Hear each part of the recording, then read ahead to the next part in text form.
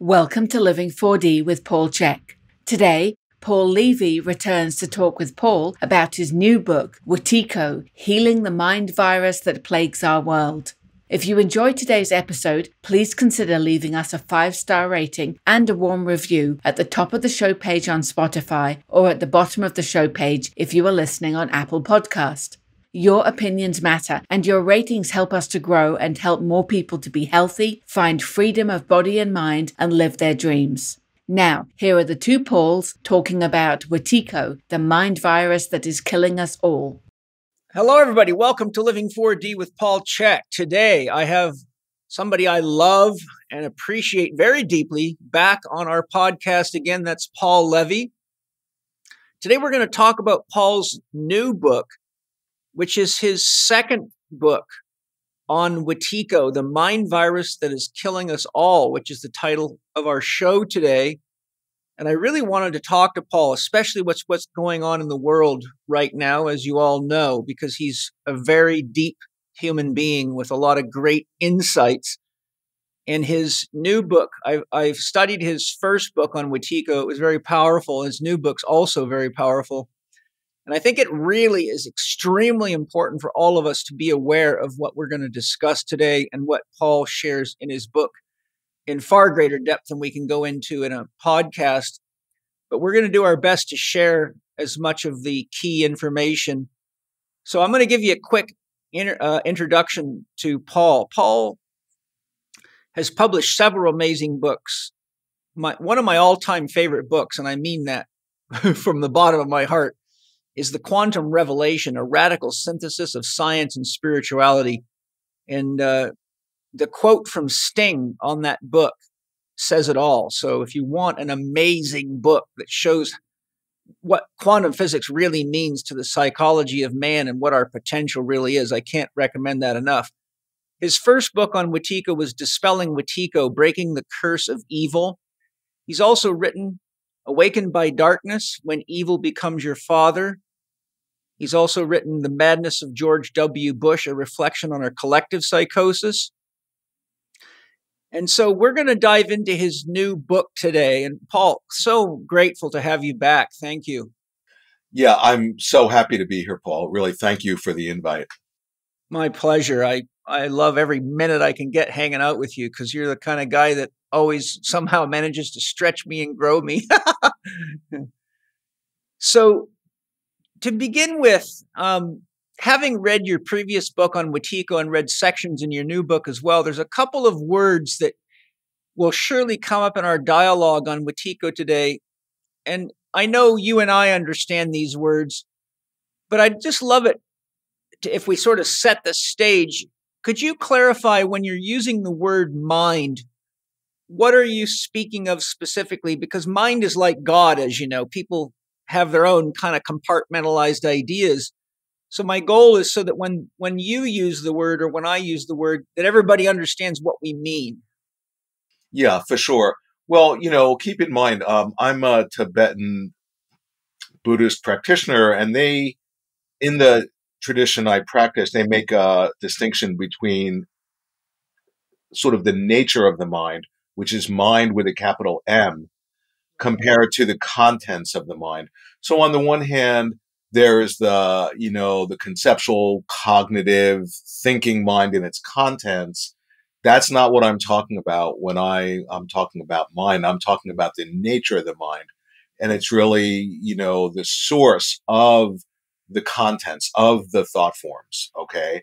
And, um, so that I think it's an important distinction and I can I can write a book about that. Like the mind with a capital M is like space. It's like a mirror. It's formless, but it can take on any form. You know, but that's really in distinction to the actual contents. Right. I would love to hear your thoughts on this because I think it might be a working definition you would agree with. Are you familiar with Dr. Dan Siegel's definition of mind?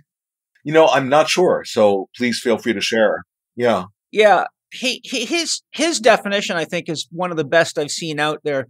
Mind is an embodied and relational process that regulates the flow of energy and information. Hmm. Well, that's cool. Yeah. When we're talking about big mind, of course, we're talking about subject object relationship within consciousness itself, not our consciousness, but consciousness as a whole. But we are embodied, and even even a a, a disembodied being that, like a, an Abraham that someone channels, still is embodied in some kind of a mental sphere of energy, a vortex, or it wouldn't have any subject object relationship. So I like that definition because it's an embodied and relational process that regulates the flow of energy and information. And we all know that how we use our mind has a huge influence on how energy and information moves through our own body. So the reason I'm asking is, is if if if you are if you feel comfortable with that as a definition of mind, it, it might be nice for a person listening to have a kind of a concept, having not a lot of people won't have studied Tibetan Buddhism and, and some of these deeper concepts of mind. I mean, of course, I have and you have. But uh, anyhow, I just wanted to see what your thoughts were on that concept. Sure. Yeah, no, and that sounds great. I mean, and I think it's important because I've I've come across people who are spiritual practitioners and and I'll say, "Oh, everything is, you know, or this is the projection of the mind." And they think of the mind with a small m and it gets in the way of them really understanding what I'm saying. Right. Yeah, that was the key distinction I wanted to make. It's it's mind as the totality of process or the flow of energy information versus our mind, which most people associate with their conscious perception of themselves, right? Yeah. Well, I mean, it's it's what a deep rabbit hole. We could spend the whole, you know, talk today Two just hours. on that. Because, you know, the idea like so we'll have thought forms and what I what I really have been have been tripping out on for decades is that wow, we so easily think that we're thinking the thoughts as compared to the thoughts just in a way are self-created and think themselves and are and are just the display of awareness. And um, I mean, even in in his autobiography, Jung talks about his encounter with Philemon, this being who lived inside of his in inside of his psyche, Psyche. that wasn't him that knew more than him and one of the things that Philemon taught him was that he said yeah you think that you think your thoughts in the same way like if somebody came into the room you know or if an animal came into the forest you wouldn't think you've created that person.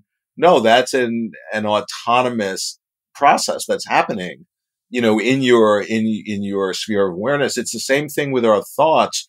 We there we so easily not only think that we think them and then identify as the thinker but then we absorb in them we identify with them instead of just seeing them as just the display of the mind with a capital M that those are radically different perspectives Yeah.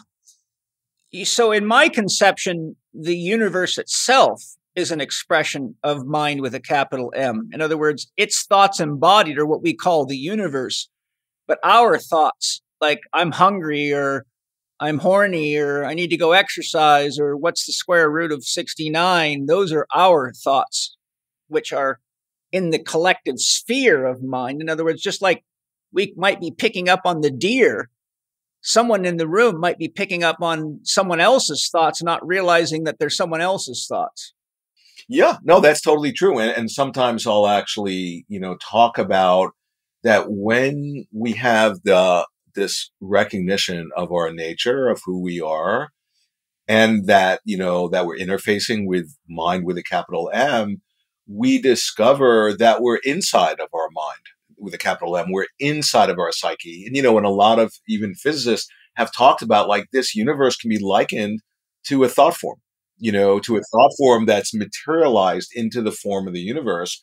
But the actual um, substrate or source of this physical universe is, you know, consciousness or the mind with a capital M. Um, you know, it's never separate from awareness. Our experience of the universe is never separate from awareness. And that's so obvious but it's so obvious that we don't notice it. And then what does that mean? You know, and so because it's all, all that I'm, all that we're pointing at is pointing at this is a collective dream. That in essence was the experience I began having in 1981. But, and I was so excited that when I began to share that, You know, it, it so freaked people out because I wasn't integrated. I was just having this overwhelming realization. But that's, you know, this is what all the great spiritual teachers are, have been saying from time immemorial that this is a dream, not metaphorically, but in a literal way, that we're having a collectively shared dream. And we're such powerful dreamers. We've, uh, we're unconsciously dreaming up this universe to manifest in such a way that it seems like it's not a dream. And then we become entranced by our own creative genius. And that in a way opens the door. You know, my whole work on the mind virus on Wetiko that really opens up the door for understanding what I'm trying to point at. Yeah. Yeah. These are why I want to lay some of these distinctions down. I don't know if I think it was either James Jeans or Sir Arthur Eddington that said in his writings that the universe appears more as a great thought. Yeah, it's James Jeans. James Jeans, definitely. Exactly. He was the one I was thinking of. Yeah. Yeah.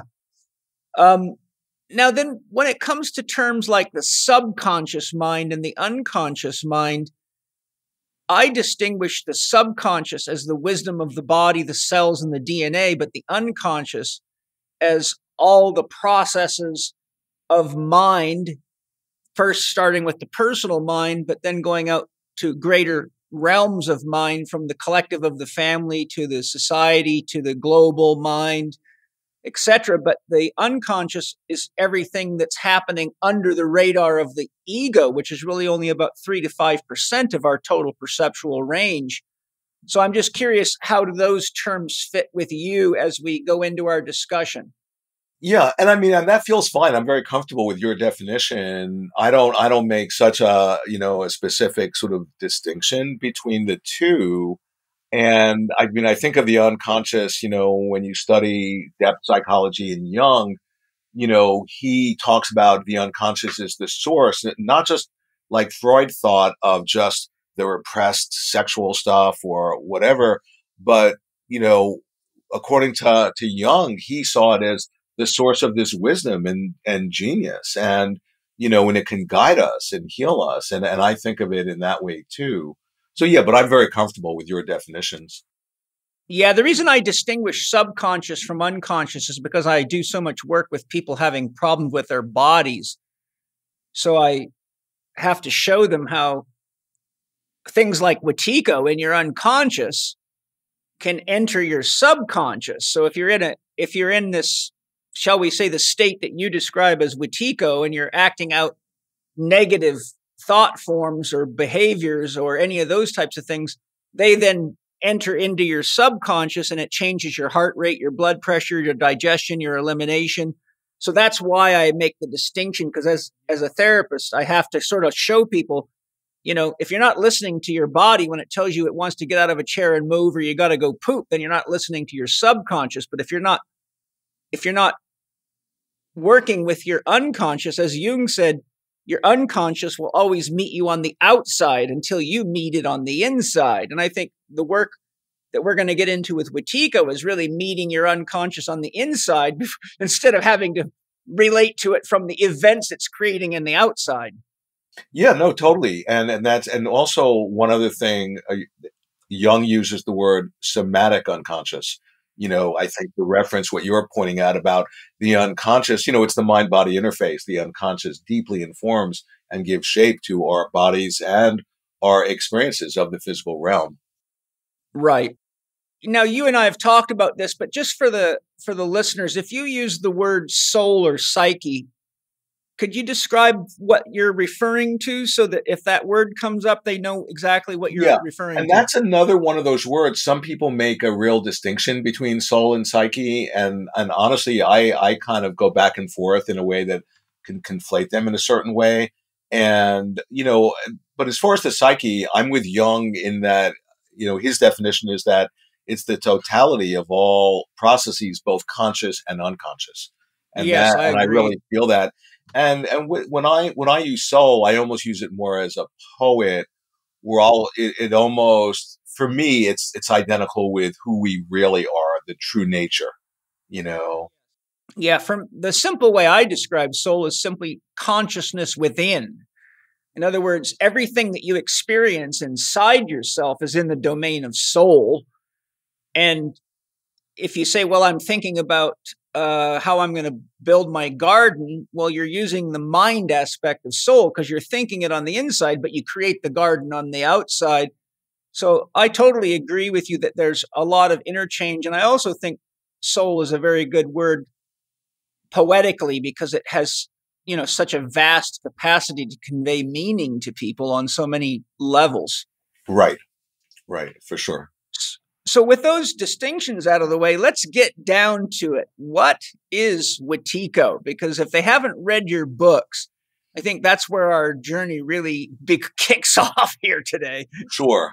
Yeah, yeah. And so, just in a nutshell, um, one way, well, first off, it's an indigenous term that this, it's a Native American term that connotes in a way the spirit of evil and um, and you could say it's a psychospiritual disease of the soul that afflicts humanity, and it exists in a way we could say in the collective unconscious of our species, and that's to say that we all potentially have it in in potential.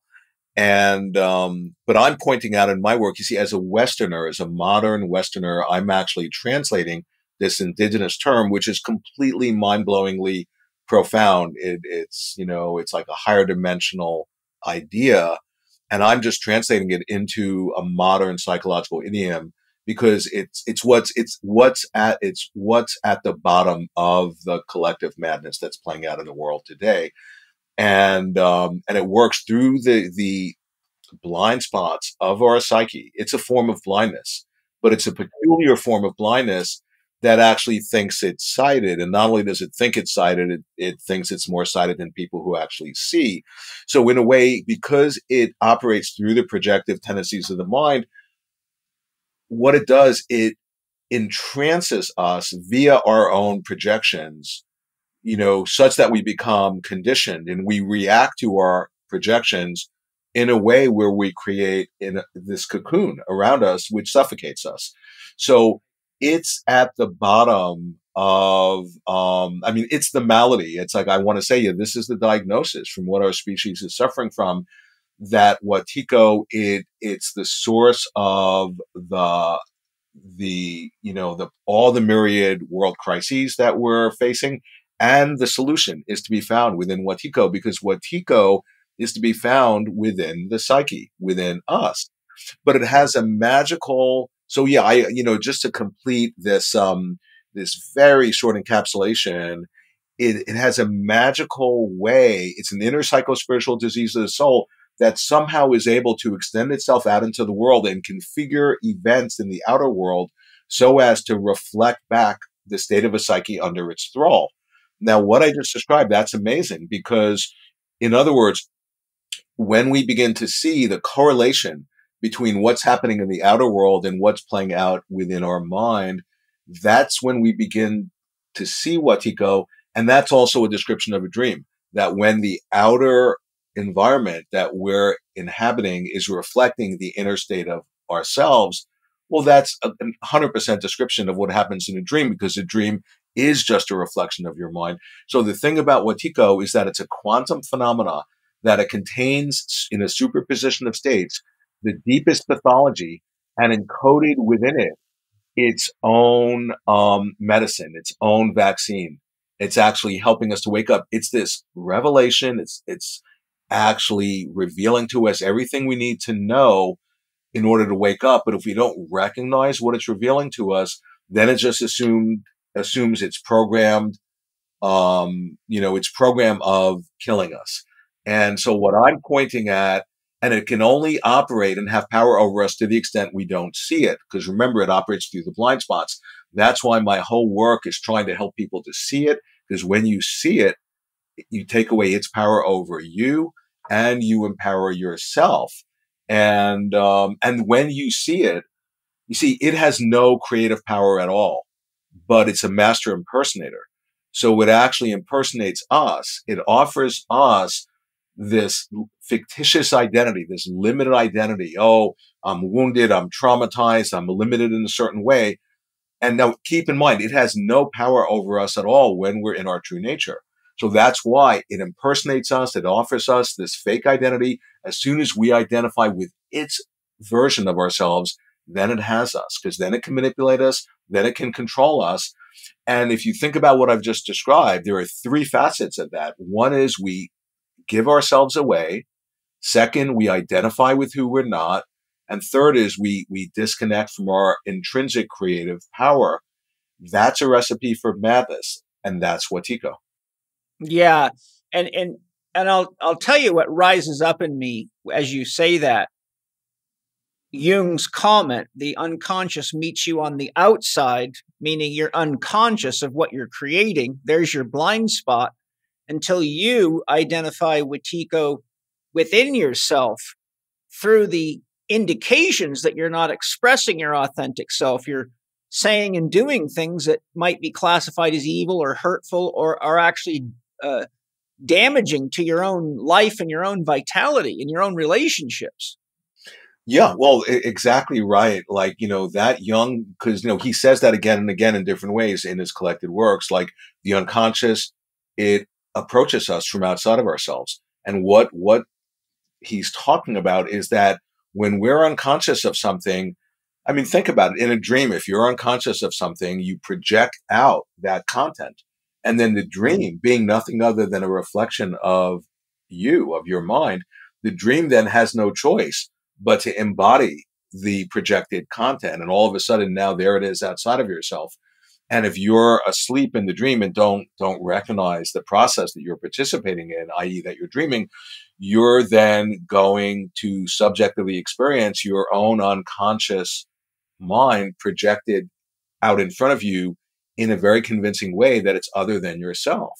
And then you actually react to it or become conditioned by it and you know and that's that's the the psychological dynamic of Wetiko but yeah exactly our unconscious is is approaching us from outside of ourselves that's why it's so important to have the recognition of oh my god what i'm seeing out there what i'm irritated by or annoyed by or reacting against out there it's actually this mirror reflecting back you know my own unconscious and that's when we're beginning when we begin to withdraw the projection and own our own stuff or our shadow or unconscious, whatever. And then we become more integrated and more whole. But to the extent we're not doing that, we're just going to continue to project out our own unconscious and, and then sort of do this like boxing, this shadow boxing, where we're really fighting against our own shadow. Or trying to inject it. right. Trying to va- like- trying to vaccinate Wetiko. Good luck. Yeah, yeah, no, totally. My God, that's a huge topic. Yeah. Yeah. Well, that's, you know, I think that's the undercurrent of what we're trying to address in the world is that, of course, and everything associated with it, because that's just the surface of, you know, to use your term, Wetiko's show right now. Um, you used a word that I that I want to also address because it's a powerful word, but it's it's another one of those words that gets so confused and and used so many ways and and I'll preface it by saying we're, we're when we're talking about evil, the issue of evil is tricky because it's a relative term. You can't have good without evil. So, you know, what's, for example, there's African tribes who remove the clitoris of girls and sometimes sew their labia together when they go through puberty. And, and to many Westerners, that's evil to do something like that to anybody's evil, but to them it's not evil at all. It's something they've been doing for thousands of years, and it's and they have their own reasons for it. So there you see, you can set up this huge polarity because you don't believe in somebody else's beliefs or cultures, or you know, a lot of Western people think circumcision is evil and and you know all you got to do is mention circumcision on the internet or on a facebook forum and watch people go absolutely berserk so, but to the Jewish people, that's cleanliness. It has nothing to do with evil. So I, I would just love to hear what does it mean when you use terms like Wetiko can make us do evil or we have evil in us because Wetiko's in us? Yeah, no, sure. And I'm hyper aware that evil is one of those terms that's such a charged term and people have so many associations to the word. And now keep in mind, I'm not um, coming from the place of being a scholar or an academic or a theoretical philosopher.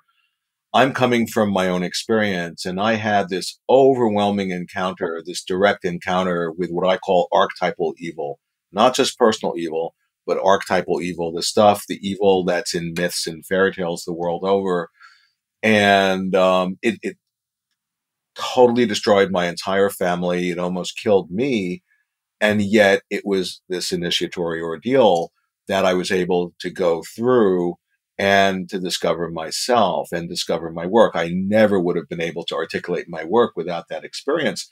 And so, you know, that being said, it's a, I feel it's incredibly important to be able to talk about evil.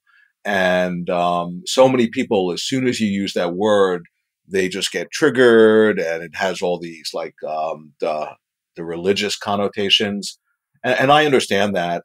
And I'm not talking as a, um, this metaphysician or as a theology person.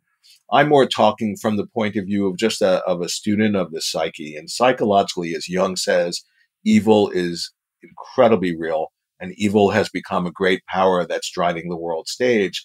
And he actually is pointing at that encoded in evil that there actually might be some form of profound teaching or blessing or a gift that we need to, you know, understand. And, and I, I totally feel that.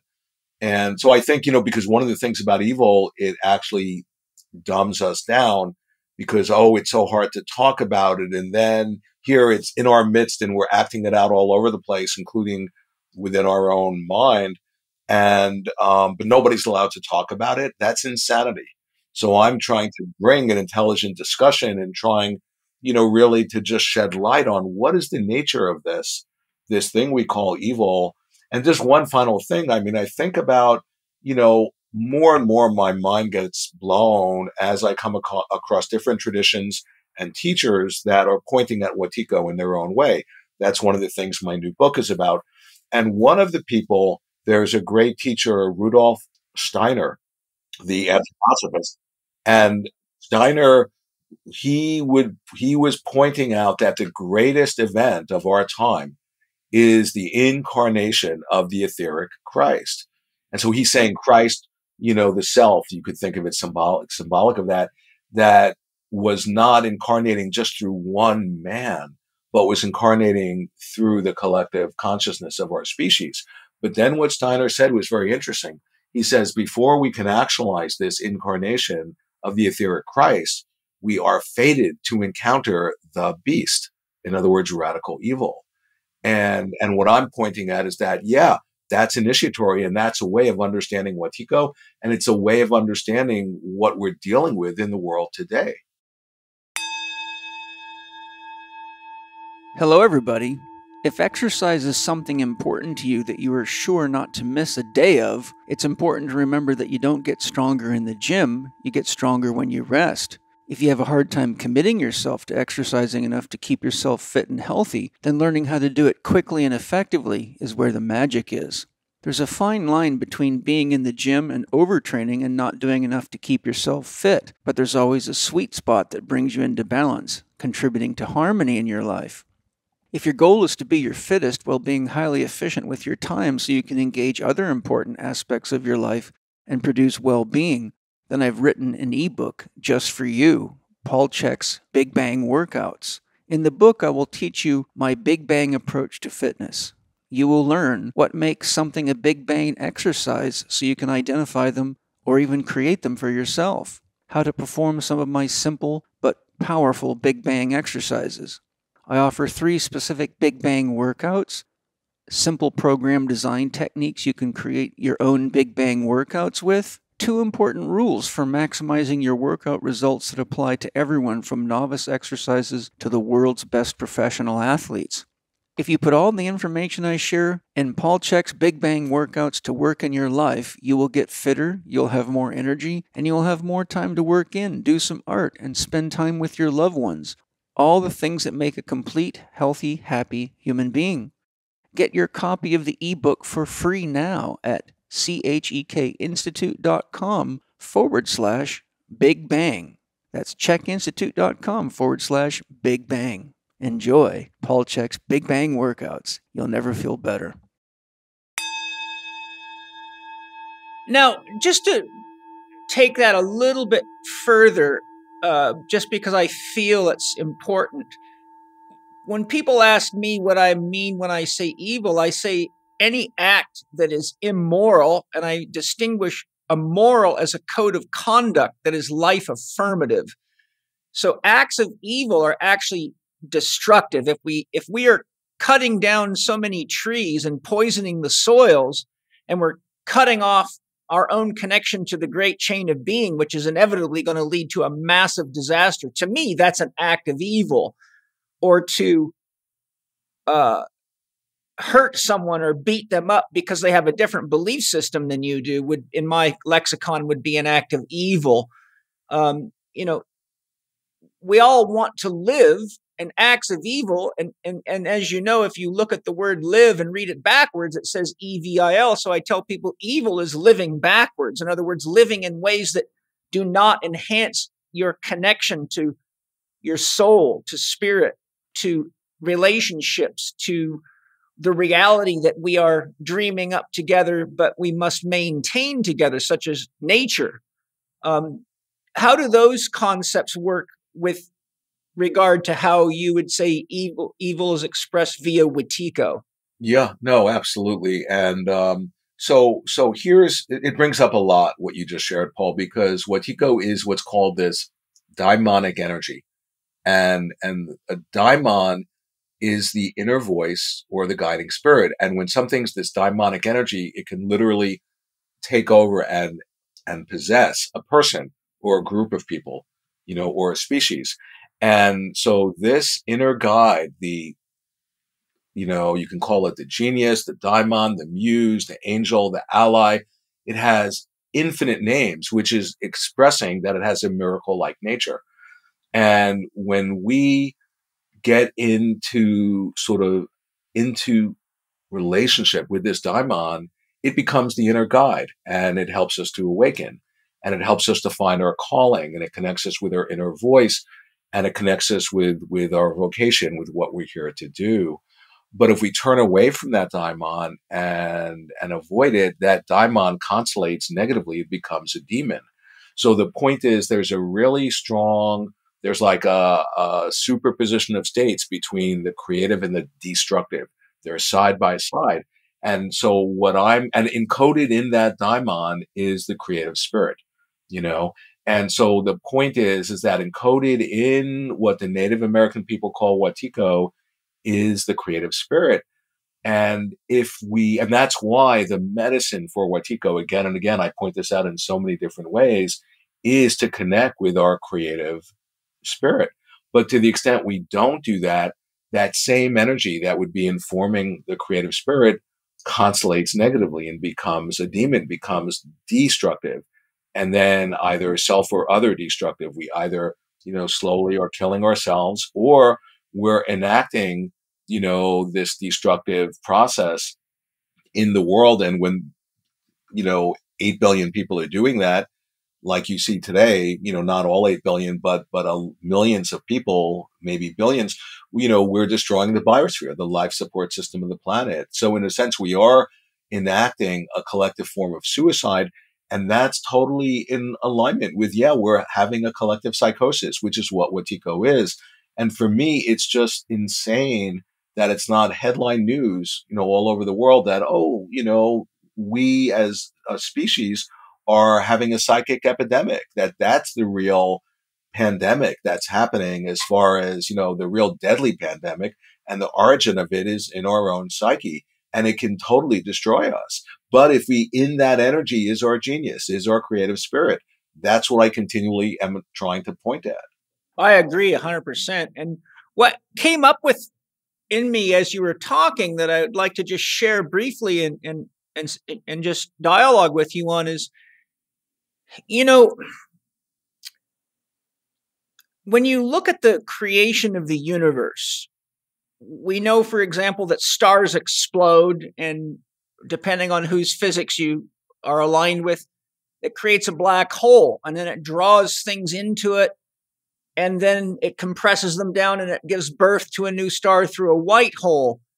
Um, you know, we we we if we you know there's an old saying if you want to make an omelet you got to crack some eggs right so the point that i'm making is the creative impulse has this destructive impulse because to make something out of something else you have to transform it. You got to cut trees down to build a house. You got to clear land and push the deer and the squirrels out to to uh, build a soccer field or a football field.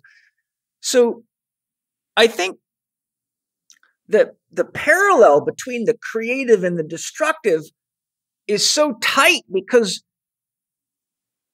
you're taking matter, let's say, or living matter, and you are, you know, cracking the egg. You're, there's no more chicken coming out of that egg. You just wipe the chicken out. You're going to eat the egg.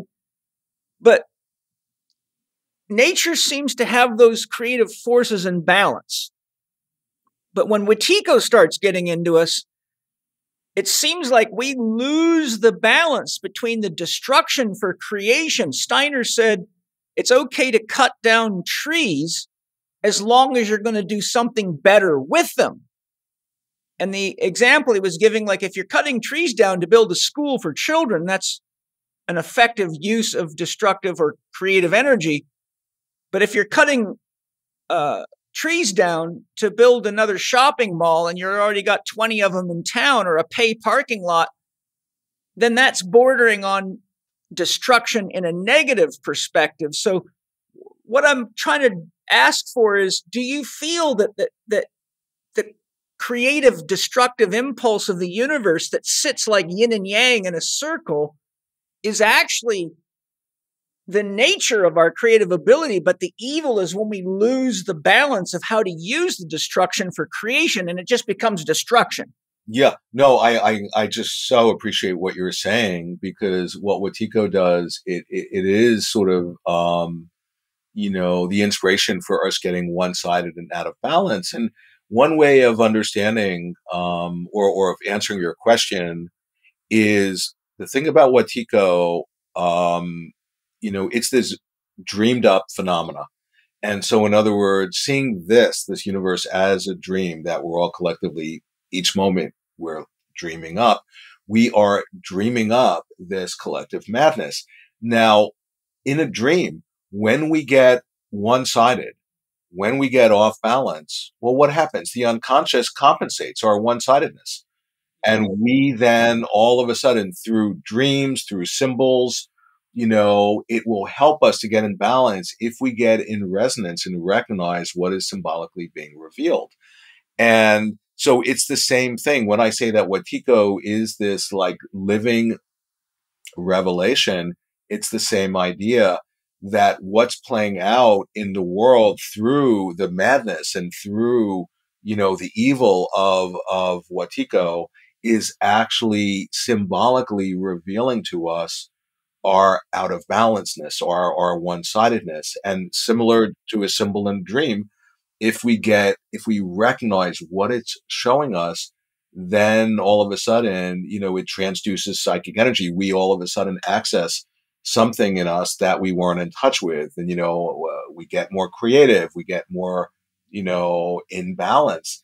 And so absolutely there has to be a balance. And, and Wetiko not only is the inspiration for that out of balance, but then it feeds off of it. As, as long as we then are out of balance, that becomes fuel for Wetiko. Because if you, you know, one thing about Wetiko, it, I mean, there are so many aspects of it that are just mind blowing. It feeds off of polarization. It feeds off of fear. As soon as we see, in essence, what Wetiko is, is it's this misidentification of who we think we are. Before I found the name, I was calling it malignant egophrenia, ME disease, me disease. It's a misidentification of who we think we are. When we identify, remember I said Wetiko presents us, presents us with a fictitious identity. When we identify as, you could say, a skin encapsulated ego, this reference point in third dimensional space and time, we're not that. No, but as soon as law, as soon as we identify with that limited version, then we've misidentified with who we are We think we're, we identify with a separate self. We think, I think I'm separate from you.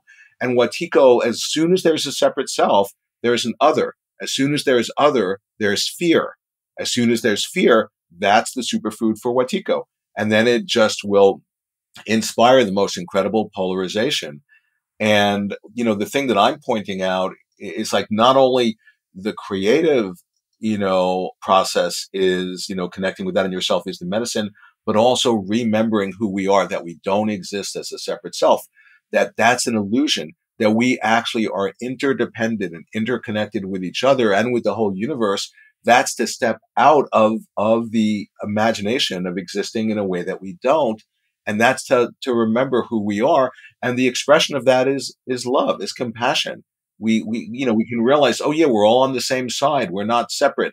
If i help you it helps me because ultimately we're not separate and that's then we're we're oriented in the right direction and then we're we're plugging into the medicine for the Wetiko mind virus but the thing which is the most interesting thing about all of this is that it was the Wetiko mind virus that inspired us to have that realization so is Wetiko evil or is it the highest blessing? That's the question. Yeah, or or you know what it reminds me of is you know the Zen master walking around the room with his bow. And if you're falling asleep, he whacks you to bring you back into a state of conscious awareness so that you're not just unconscious. It's like when people use plant medicines. I I I say, well, especially when I'm talking to, you know, shaman and people that lead journeys, I say one of the things you got to be very careful with leading a plant medicine ceremony is if you overdose the person to the point that they go unconscious, they don't learn anything. So now you're just wasting plant medicines.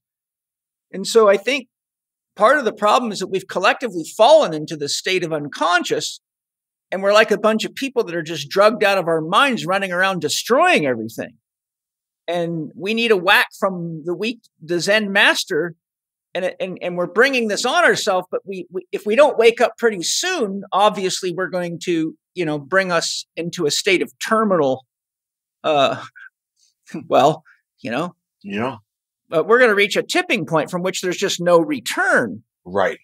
Right. And so many psychologists, if you search the internet for opinions on on on from psychologists as to the psychological state of many of our world leaders that are behind what's going on, you'll see over and over again that they, they repeatedly say we have psychopathic leaders. We have people that are, uh, you know, they're acting in ways and behaving in ways and doing things to people that are clearly classically psychopathic behavior, like a serial killer or somebody like that.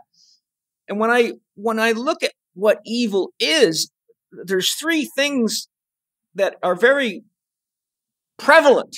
One is the constant need to consume, right? Like how how when does when does Bill Gates own enough would be a question. When, when do when does George Soros reach the point of satiation with how many people's lives he can completely fuck up? Um, and then there's power. There seems, when evil is around, there seems to be this insatiable appetite for power and control is the third one. So consumption, power, and control. And so it seems like these people that are the world leaders behind the Great Reset, the Trilateral Commission, they all have this appetite for power, consumption, and control, even when it's just destroying everything around them. But Lao Tzu warned, or he, he didn't warn, he said, the government always reflects the people, which goes right back to your statement that we're having a collective Wetiko event. But these are the people that seem to be sort of like the envelopment of our shadow in full force. I'd just love to, to hear your thoughts on that perspective. Yeah. Oh, I'm right with you. I mean, because I I freak out when I see, oh my God, you know, whether it's Bill Gates or whoever, the powers that be or whoever's controlling him. And keep in mind, he himself and other people, they're just pawns in the hand of the deeper archetype. They're just, you know, they're just as, you know, even more victimized by the formless archetype than any of us, you know, ultimately speaking. But it's all about centralizing power and control. And, and that's, that's a sickness. That's, you know, I mean, that opens the door for evil. But I even take it the next step, you know, in my contemplation. And I wonder, well, how come that's happening? Like, what is that? What is that teaching us? What is that showing us? And I go back to this being a dream. And if I'm in a dream, right? Say if I'm in a dream at night and I'm, I'm in a sleeping dream, and say if I'm not in touch with my creative agency and my creative power, right? So what happens? Like you said, quoting Jung, the unconscious always approaches us from outside. So then if I'm unconscious of my own creative power, well, what's going to happen? It gets projected out and dreamed up through the forms of the dream and into the, into the night dream will walk a person or a group of people or the state or whoever, which will be more than happy to, you know, to implement my own intrinsic creative power against me because I've disowned it. I've disconnected from it. I've projected it out. And so what I'm saying when you see this as the dream, the, the, our waking life as the dream and you interpret it as such and you like wonder, what is it revealing to us?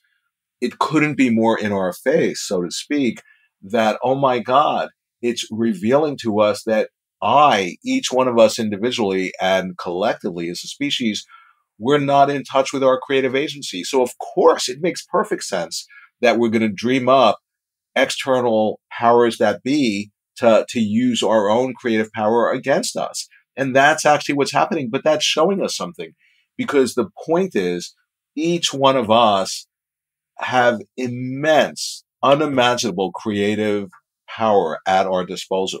We always have 24 seven. We've been using our creativity but to the extent we're unconscious of it, we use it against ourselves in a way where we're literally hypnotizing ourselves and killing ourselves.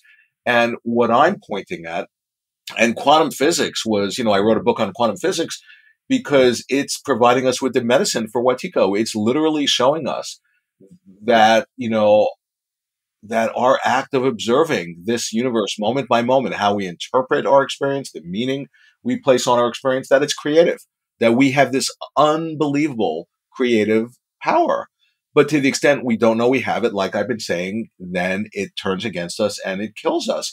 So what I'm pointing at is that when you see exactly what you were describing, Paul, around, you know, the, the, the psychopaths in power and how, you know, the, the totalitarianism that's happening and it's centralizing power and control, control and taking away our freedoms and separating us from each other yeah, what is that an expression of? What is that showing us? It's literally showing us that, you know, we're disconnected from that creative agency.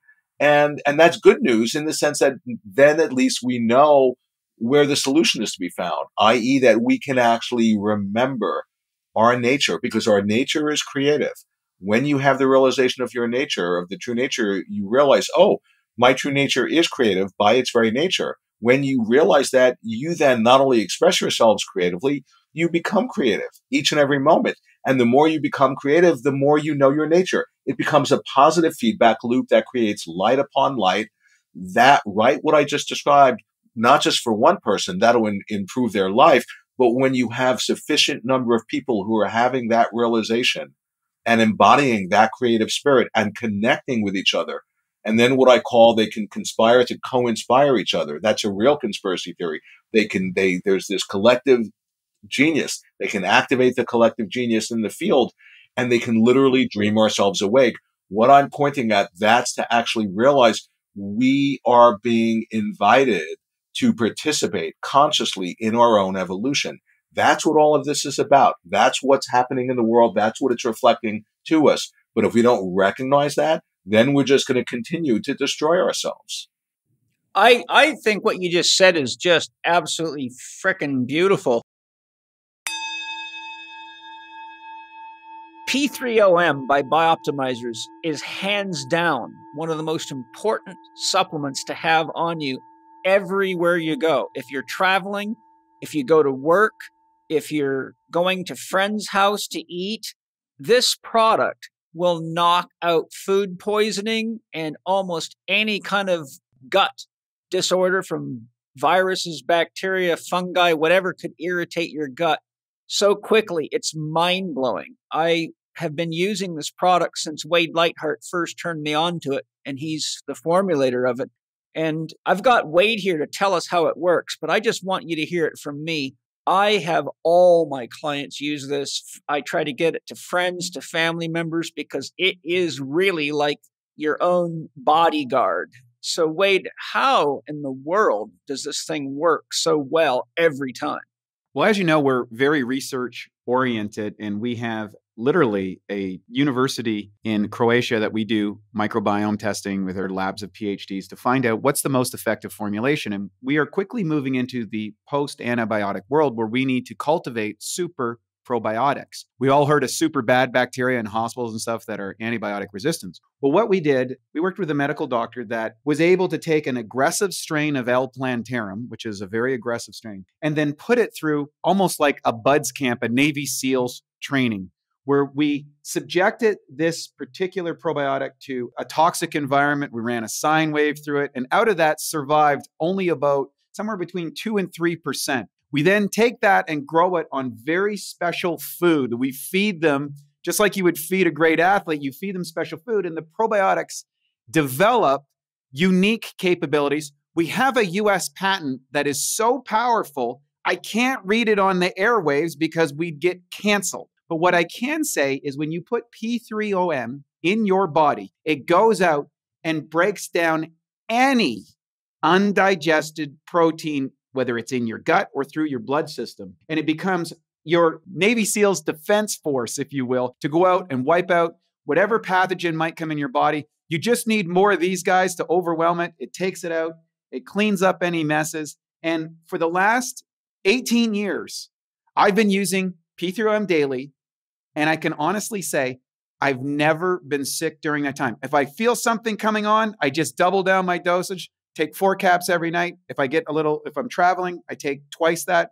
And it's been great. A lot of our people do it, and it's one of our best selling products, and it's available to your audience. Just go to p3om.com slash living4d, put in Paul 10, get a 10% discount. And if it's not the best probiotic you've ever had in your life, you get 100% of your money back that's from us at Bioptimizers. That's our guarantee for you. Go get it. It's for real. I love the stuff. Thank you, Wade. There's two factors I want to share with you and the listeners. One of them's very rooted in a lot of people's philosophical orientation, which I think is dangerous, which I'll bring up in a second. But the other factor is, you know, if you look at how much destruction happens when we release responsibility to the state to do whatever it wants with billions and trillions of tax dollars. We get what we have in the world because we're not taking responsibility with what's happening with our energy as money. We're just giving money to some uh, fictitious or illusory or uh, whatever you want to call it, the, the White House or the state and the next thing you know, they're starting wars and blowing shit up and, and picking on people. And, and everyone's saying, oh my God, Saddam Hussein this, and we're getting all sorts of propaganda. But a lot of that comes back to our childlike trust in an entity that's using our power, but we're not taking responsibility for the creative agency of the energy we're giving away. So we're really investing unconsciously in what would be like a business that's destructive. Now, why I'm bringing that up is because, as you know, the more stressed people get, the more left brain they get, and the less access to their creative potential they have. And then there seems to be from people like many of the interviews with people, um, Viktor Frankl, for example, when people were dying in Hitler's gas chambers and concentration camps, they all of a sudden started having these powerful visions and almost like shamanic awakenings. And the ones that got out of there became very powerful people because they had to confront Wetiko kind of like you did in your experience, but it activated their creative potential. The point I'm bringing up is if we don't start paying attention to what Wetiko is, and we don't take time to center ourselves, meditate, breathe, eat real food, slow down, and hold hands and say, what do we want to create right now?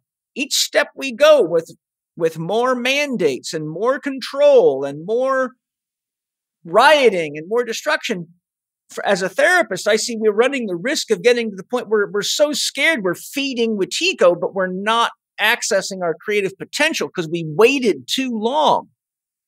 Do you Yeah. agree Yeah. with that? Totally. Oh, absolutely. No, I mean, we're getting to a place where, um, you know, it's going to be, it's going to become too late unless we wake up. I mean, it's really, it's a very urgent time. It's an amazing time in history.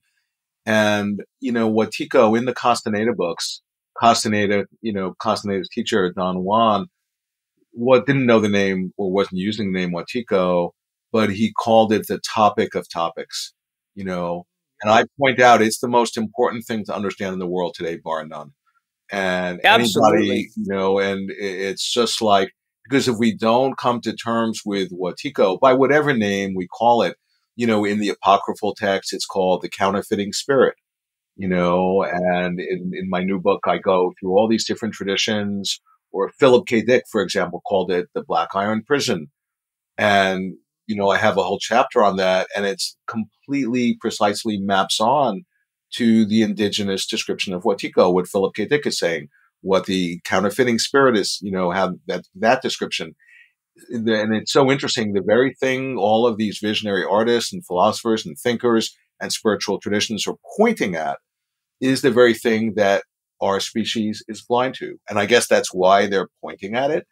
And so I guess my point is that, yeah, I'm in agreement with you that, um, you know, there's nothing more important in the world at all to understand because whether you talk about with the threat of, you know, with nuclear war or climate change or any of the, the economic, you know, crimes that are happening, the transfer of wealth, the political malfeasance, the, it's all informed by the Wetiko mind virus.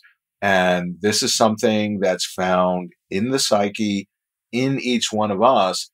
And we think part of the programming is for us to believe, oh, I'm so helpless and what's happening is so overwhelming. But I'm pointing out that each one of us have this unimaginably vast creative power. And any one of us having the realization of our nature, of who we actually are, and connecting with our creative spirit. Like this beautiful example in the collected works, Jung talks about the image of when you have a glass of water and you dissolve sugar, little grains of sugar in the water, they'll just dissolve and dissolve. And then it reaches the saturation point and you add one more grain of sugar and a crystal manifests. And he compares that to the way a symbol actually will emerge out of the unconscious. And also any one of us having the realization of our nature, connecting with our creative spirit, seeing our shadow, recognizing Wetiko, whatever you would call it, awakening to the dreamlike nature. Any one of us could be that grain of sugar that catalyzes an awakening in the collective consciousness of our species. And that's very, very hopeful. And quantum physics says the same thing. Quantum physics is pointing at, I mean, in essence, that any, you know, each and every moment, there's this incredible potentiality before you observe the quantum entity, how it's going to manifest. And even, and then you observe it, you dream it up in whatever way, and it'll actualize in one particular way as that moment, and all the other potentialities vaporize as if they never existed into a parallel universe. And what quantum physics is pointing at is that even if one of those potentials is is highly ridiculously unlikely, uh, unlikely, it could still be the way this next moment manifests. And so, for example, the fact that that that humanity could potentially wake up this moment and avert the incredible myriad catastrophes that we are literally creating, quantum physics is saying, oh, that's a very real possibility. And I would point out, well, if we're not thinking of in that way, then what are we thinking? Then if we're just identified and caught by the pessimistic, despairing, depressed attitude of feeling helpless and hopeless and thinking we're doomed, then we're unwittingly being a vector for Wetiko. Well, you just set up the next point that I wanted to bring up more perfectly than it could be set up, and that's this. And I know you're aware of what I'm about to share, and that's why I want to address it. There are many philosophers, existentialists and people, and even quantum physicists and physicists. I've heard many physicists say this. In fact, what's his name? The guy that wrote. Um, uh, it'll come back to me, but I recently watched an interview with him. He's one of the he's the kind of the pioneer, the real big name behind the multi worlds philosophy. Wrote a whole book on it. Um, physicist, but anyhow, the point that I'm getting at is many people are of this belief that we are insignificant when they say, "Oh, look at the size of the universe. A human being's insignificant." And I read the Meditations by Marcus Aurelius, and overall, it was a great book. But he too said, any human being is insignificant in the grand whole. So don't fall in love with yourself kind of concept. Now, a lot of people in the crisis that we're in kind of cave in like a turtle pulling itself inside of its shell or an ostrich burying its head in the sand and hope it'll all blow away and and many in my family are are like that. I've had some interesting discussions and like I don't want to get involved in that. I don't care what the science is. I'm just doing what I got to do so I can keep my job. And I'm like, yeah, but you're you're falling right into the trap and you're believing that you're insignificant. And so how I approach this with my students is this. I say first of all, part of the problem people have is that they have a very narrow, limited conception of the power of God or source. If you want to use a non God word, just source, whatever's creating everything we call the universe or the multiverse or the omniverse. So here's the example I give I say, okay, let's do a thought experiment.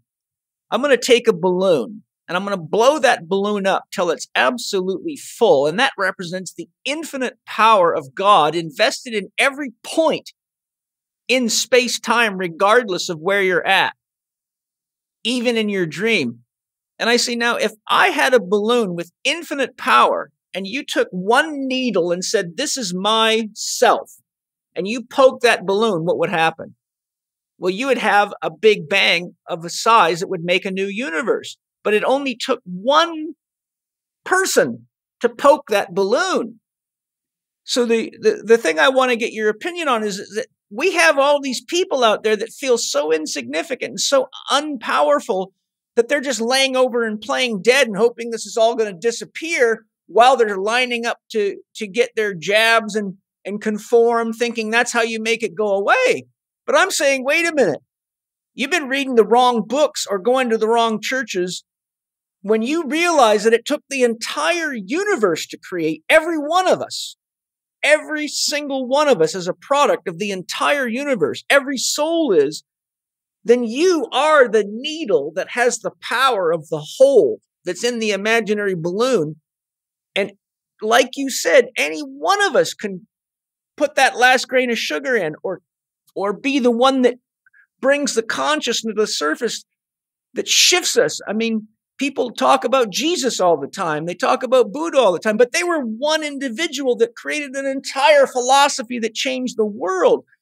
But people that keep waiting for somebody else to come do that. I say it's time for all of us to get still and sit under a tall tree and access the truth of ourselves and get clear what is it that we're creating in the world because if we each take responsibility for our creative power and our creative ability and our creative license with the intention of saying, what can I do to contribute to the awakening of humanity so that we can all realize that we have the power to create something beautiful right now instead of dying together out of ignorance through an unconscious event, then we need to do that. So the real point I'm bringing up to synthesize that is where do you stand with this? We're insignificant we're just a drop in a universe versus we're powerful and we can make changes, even one of us. Yeah, yeah, yeah. No, and I feel, I mean, it's a quantum, you know, it's it, the predicament is very quantum. And what I mean is that, yeah, from one reference point, we're incredibly insignificant. From another reference point, you know, um, we are the the vessels through which God is incarnating. You know, and that gives us we're playing a crucial role in the incarnation of the deity. And what you said was so cool. It brought up so many things for me because it's like, if you have a crystal, I think um, I read somewhere that if you want to crack open a crystal, you know, or a big geode or something, and if you just keep on hitting it, it you know, it won't crack it open. But if you find that there's a particular like whatever you call it, like weak point. Yeah, the weak point, the leverage point, the juncture, and you just hit it right there. The whole crystal opens up, and and it brings to mind, um, you know, in one of my books, I talk about say if you're typing on your computer and your hands are one key to the right and you're typing and it looks like a complete mess and you know on the screen and you think oh my god it's going to take so much work to fix everything. Where do i even begin? But then when you inquire into it the solution is just oh just move your fingers a quarter of an inch to the left oh, and yeah. everything is is back and is fine and is perfect and is optimal. It's like that and the thing which is interesting about the work i'm doing because i'm just following my process and just offering myself you know, as an instrument, you know, and all of it resulted from my encounter with Wetiko, with evil. And what I'm basically more and more what I feel, you see, the thing about, about Wetiko, you know, one meme you could say in terms of it's this, it's this magical idea whose time has come. When people get turned on to the idea of Wetiko and really get switched on, like even Jung himself said, in times of collective psychosis, only one thing can save us. And that one thing is a new symbolic idea. And that's exactly what Wetiko is. It's a saving idea. And when you really take it online into your minds and understand what it's pointing at and what it's a revelation of, your consciousness expands and you become transformed. And so what I've been more and more tripping out on is, oh my God, by me just being this instrument for um, this work, you know, for writing my books and, you know, offering it to the world and people then are really getting, you know, benefit and it's medicine in a certain way. It's like I've, in a sense, injected this thought form in, into, you know, into the dream and it's bypassing the military industrial complexes like radar or censorship or whatever. And, you know, when enough people really get switched on to what Wetiko is a revelation of and what it's pointing at and what it can activate in themselves, that it's showing us the dreamlike nature, that realization, just like a virus can go viral, that realization becomes contagious and can go viral. And it can, in a literal, real way, change the collective dream we're having. And, and all, and the only way I've, I've like found myself in that role is just by somehow trusting my own guidance and and just um, following my own process. And the thing which is so amazing to me is why am I doing that? It was because of Wetiko. It was because I had the direct encounter with Wetiko, and it could have killed me. It could have made me completely insane. Could have split me off, and I would have just become disabled.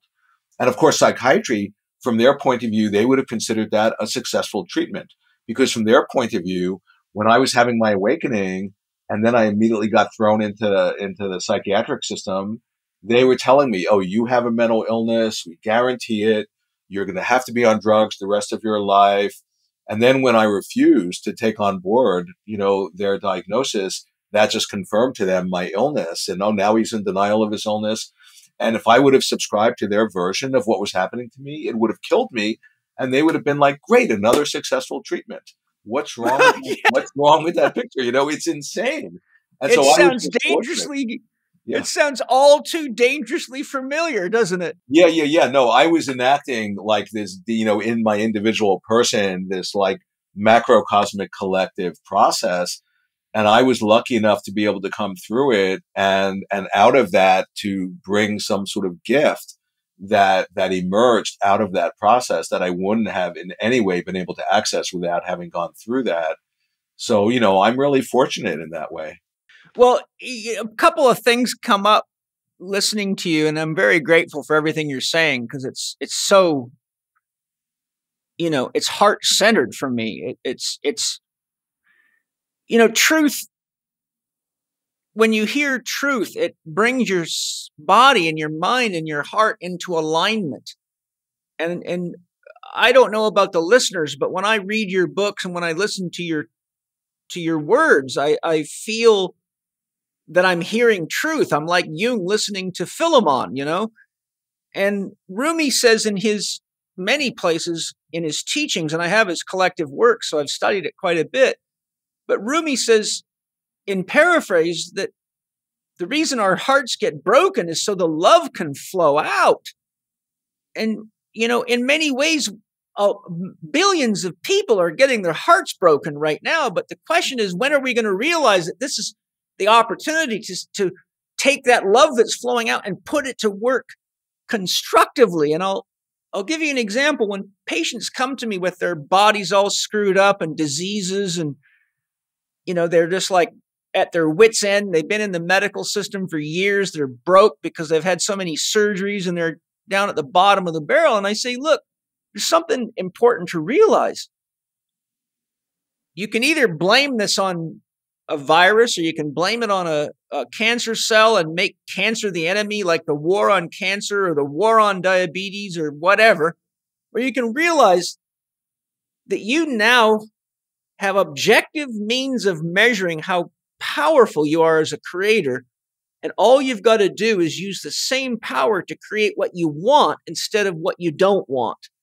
And it seems to me that when we look into the world and see how much power we're using collectively to destroy life and destroy our bonds with each other and destroy our potential to create harmony together, that if we just say, okay, it's time for us to use that power to create harmony and to bring ourselves back into a one world family and get past racism and vax versus unvaxxed or any of these uh, dualities and and really just look at the power we're using and say let's just flip the polarity and get clear on what we all want to have and what we need and what the planet needs. It, it, it just seems it's just a matter of awakening to the fact that we've got to get rid of some bad habits and become conscious of what it is that has, that has to be created collectively because none of us is powerful enough to create something that big by ourselves. So we've got to do it together. I think that's one of the beautiful things.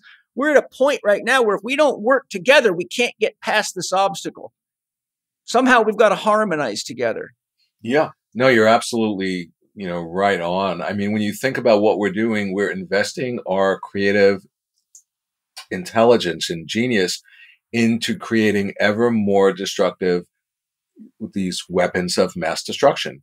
I mean, and just think about that for a moment. That's how we're investing our genius. And it's insane, you know, and, eh, but I'm pointing at, you know, from my work, if this is a dream and if that's a dream, that's a dreaming process, what is that reflecting back? Well, that's reflecting back that our creative spirit, instead of being channeled in a constructive way, where we can actually, you know, co-inspire each other and, and actually we can help each other to wake up. I mean, you know, in, in Buddhism, they talk about the Buddha, the Dharma, the Sangha, the, the gem, the, the triple jewel, the teacher, the teaching, of the community. And there are some teachers who were saying the most important of the jewel modern day is the Sangha, is community, is for us to like, you know, snap out of the illusion that we exist as a separate self, to recognize that I, de- for my, my, you know, survival, I depend on you. We depend on each other. And, you know, and then to get in sync with each other and to invest our genius in a way of actually like healing ourselves. Like what a radical idea. But what a concept. What, right. What a concept. Right. Exactly. But that's what's being reflected to us. That's what's being demanded of us or, or else, or we're just fated you know, to continue to destroy each other. And what it also brings up in me, I mean, it's so trippy because sometimes I'll have a feeling, oh my God, you know, it's like if you have a dream at night and if you don't get the message, what happens? It recurs. You, you redream it. And then, but it gets more and more amplified and more and more intense until you finally get the message. So I've been, been tripping out over, oh my God, it's like this is a recurring dream. And we as, uh, as beings, as have been here trillions of times before and then we've just blown ourselves up. And then in in in the in you know being a dream in dream time, which you know where billions of years is just a flat you know blink of an eye, we then get back to the same scenario and we blow ourselves up again, and then it happens again and again and again. But maybe this time is the time in our evolution of us as a species that we recognize what we're actually unconsciously doing, that we're unconsciously killing ourselves, that we've gone out of our minds, and that it's completely available for us to wake up. There's nothing in our way that's stopping us from waking up. We already have the solution. I mean, that's one of, you know, if there's a message that I have for people, it's like, yeah, we already possess the medicine. We already possess the solution. We are that, you know, and, but it, it's like what I've been saying 24 seven. We are these creative beings made in the image of our creator. And, but to the, to the extent that we're not awake to that, then that gets turned against us. And so my prayer is that, you know, in my work, hopefully is to just share out of whatever little, whatever understanding I'm having that might really speak to other people's unconscious and activate their genius and, and help them to awaken to the dreamlike nature. And just like when you're in a dream at night and you as a character in the dream, the dream ego have lucidity and you recognize, oh my God, this isn't who I am. This is just a model for who I am. Who I am is the dreamer of the dream. And that, that deeper dreaming self is what I call it. That's dreaming the whole dream. And that, you know, think of it like a meditating Buddha having a dream. And you're just like the, the imagination or the dream of the meditating Buddha, but that's your true nature. When one figure in that night dream has that realization, that's one thing, and they have lucidity, that's one thing. But then imagine, just invoke your creative imagination. And when more and more of the dream characters in that dream, when they also have lucidity, and then they hang out and connect and trip out on what they're realizing. Oh my God, this dream universe we're in is manifesting the way it is in such a limited, problematic way because we, we've been conditioned to dream it in a limited way. We can actually get in phase with each other and dream it in a way that's reflecting who we're discovering ourselves to be. You know that's that's actually what we're being invited to step into that dream. What i just described is a night dream but that's the nature of our situation in our waking dream.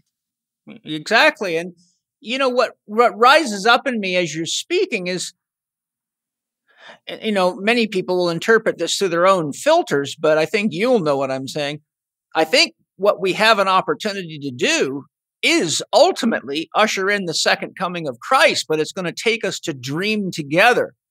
And I'm not talking about a man, I'm talking about the Christ consciousness that we all are.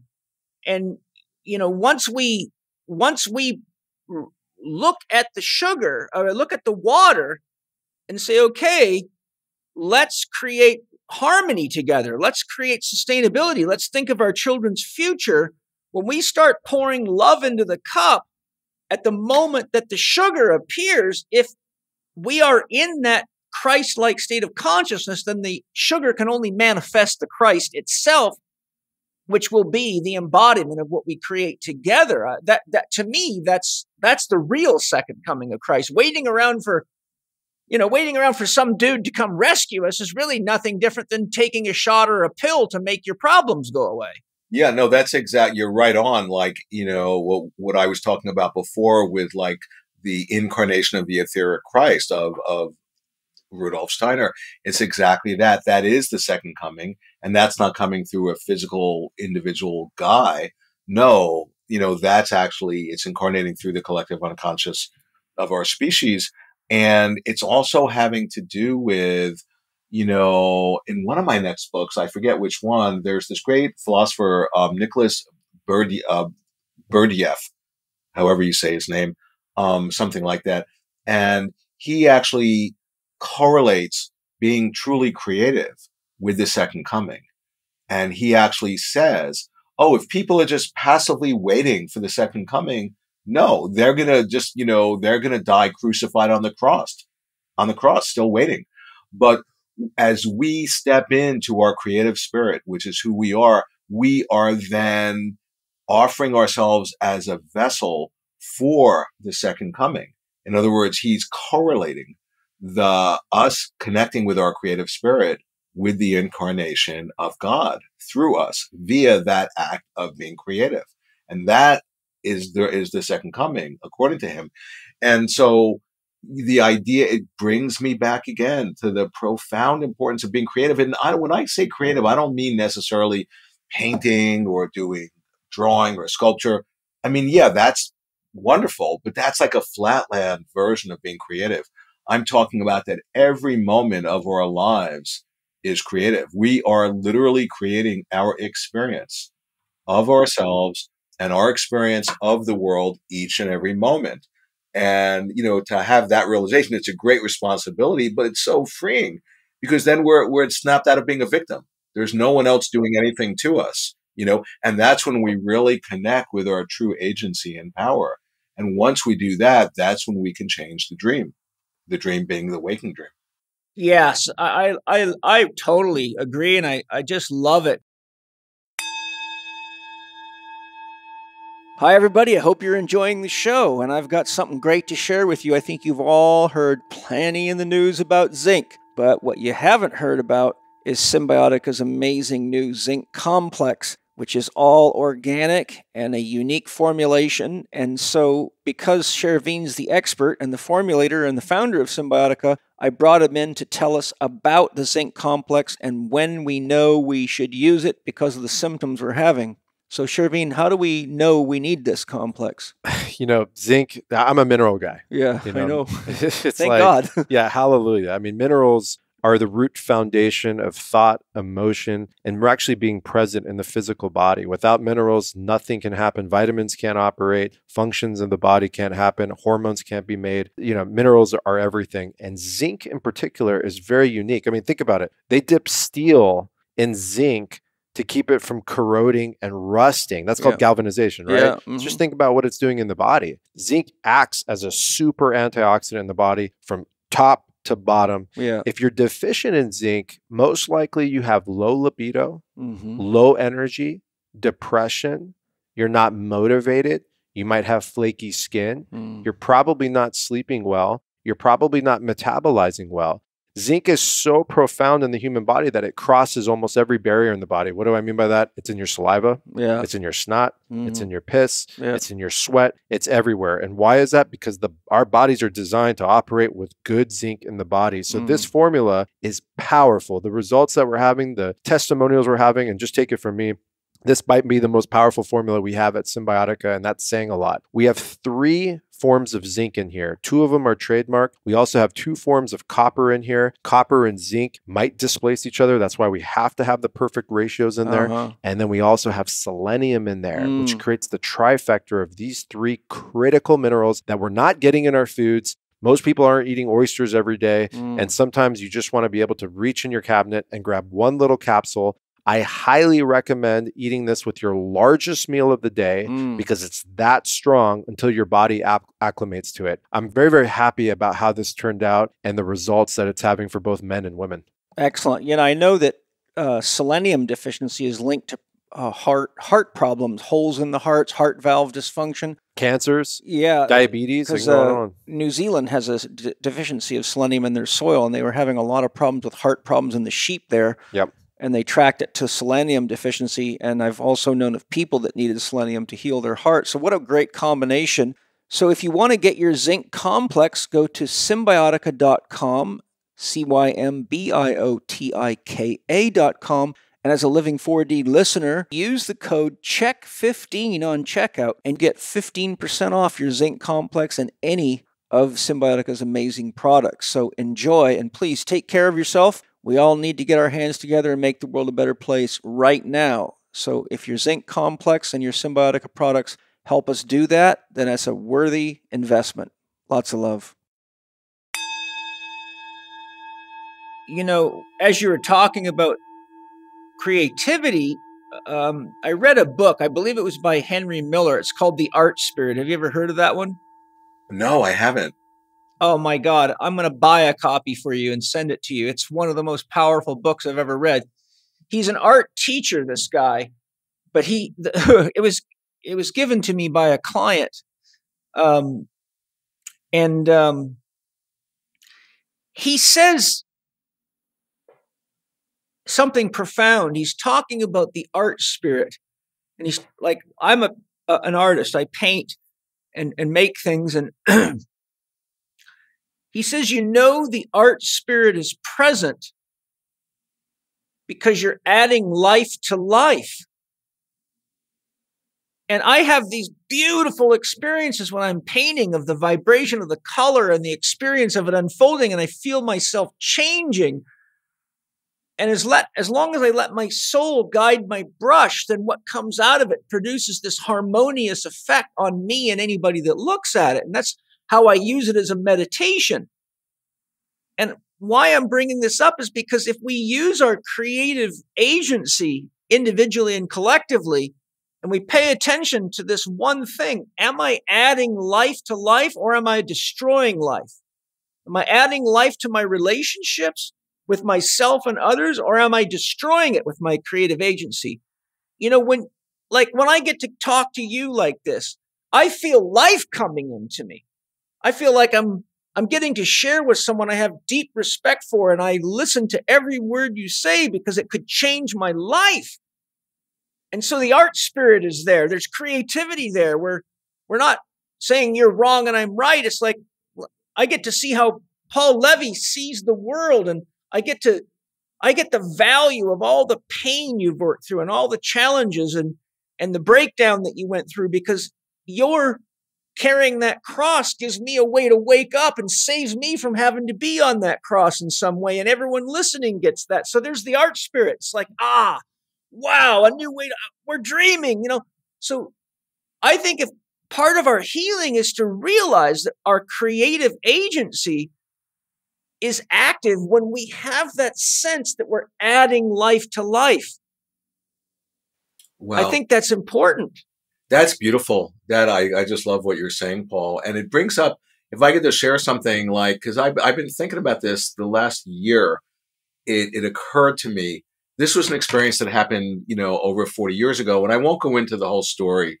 You know, I've talked about it before in different podcasts, but, and it actually saved my life. Like on the very first day I had my awakening, and, you know, and I was so enthusiastic of, of realizing this as a dream that I immediately got brought to a hospital, went to a psych ward and locked up. And, you know, they thought I was having a psychotic break. And within the first minute of that hospital, you know, and I won't go into the whole story, but I met this woman in the lounge. She was a psych patient. She was blind. You know, her eyes were opaque. And I went, I found myself, and what I, why I'm telling the story, and you'll understand, is that encoded in what I'm going to describe is both the Wetiko virus and its solution and and it's creating life it's creating healing and you'll see. So i see this woman i'm in this completely ecstatic extreme state in which i'm realizing oh my god this is a dream. It was like i was waking up and i see this woman her eyes are blind. Like i was given a script you know to say all of a sudden just falling into my head are the words all you have to do to see is open your eyes and look I say this to her. I'm looking in her eyes. I'm getting closer to her as I say it again and again. The whole thing took a minute and she regained her sight. And, you know, the story goes on. I won't tell that part right now, but just it's taken me 40 plus years to, to realize the revelatory aspect and I'm still unpacking it. And what I mean, Wetiko is a form of blindness, but it's a self induced form of blindness. She was hysterically blind. She was causing her own blindness. And then I didn't, you know, for me to say, "Oh, I healed the blind woman," no, that's not accurate. I didn't, I didn't do anything like that.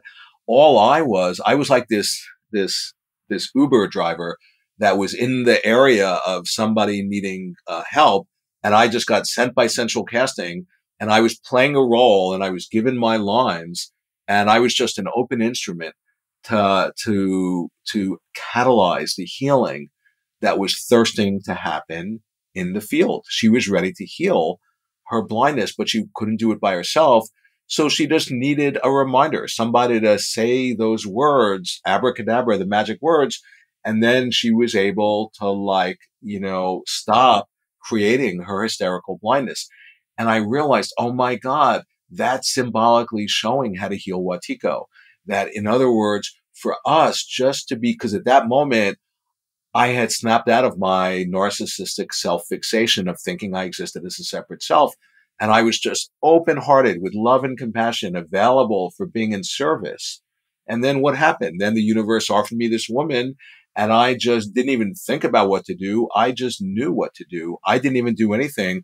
I was just an instrument for the deeper healing to precipitate itself through me into the field.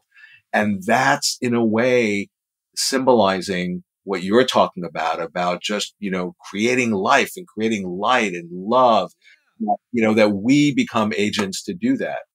Absolutely. In fact, I remembered who it was. It was Rick Rubin, the famous music producer. Him and his wife were working with me, and I was helping them with a variety of things. And he handed me this book and he said, This is a gift for you. And I started reading it, and I'm like, it was one of those books where any sentence could throw you into such a deep meditation. So I read it for a long time in the sauna and absolutely destroyed it in the sauna from sweating on it so much. But I bought another copy for my library. And so it's it was just amazing. So I returned him the favor and I sent him a, a book, which if you haven't heard of, it's also excellent and it's very appropriate because it's about what we're talking about. It's called The Music Lesson by Victor Wooten. And it's an incredible story of how he meets this music teacher who is very kind of like a Don Juan and teaches him all sorts of stuff, all in the guise of learning music. So if anyone hasn't read The Music Lesson by Victor Wooten, that's more readable for most people. The Art Spirit is one of those books that's so deep that you have to be ready to digest it and be patient enough to be present with it, or it'll be a bunch of paper, words on paper. And and you've mentioned the word the self, so I'd love it if you can mean what say what you mean when you use the word self. For example, on page 70 of your new book, it says, To the extent that we are split off from this process of being afflicted by Wetiko, we experience these mechanisms happening to us we have lost agency and lost touch with the fact that deep down in our subconscious, we are doing this to ourselves. Now, you know, if you look in the Buddhist conception of the self, you get one idea. If you look at the standard conception of the self, it means I, me, mine, like the ego.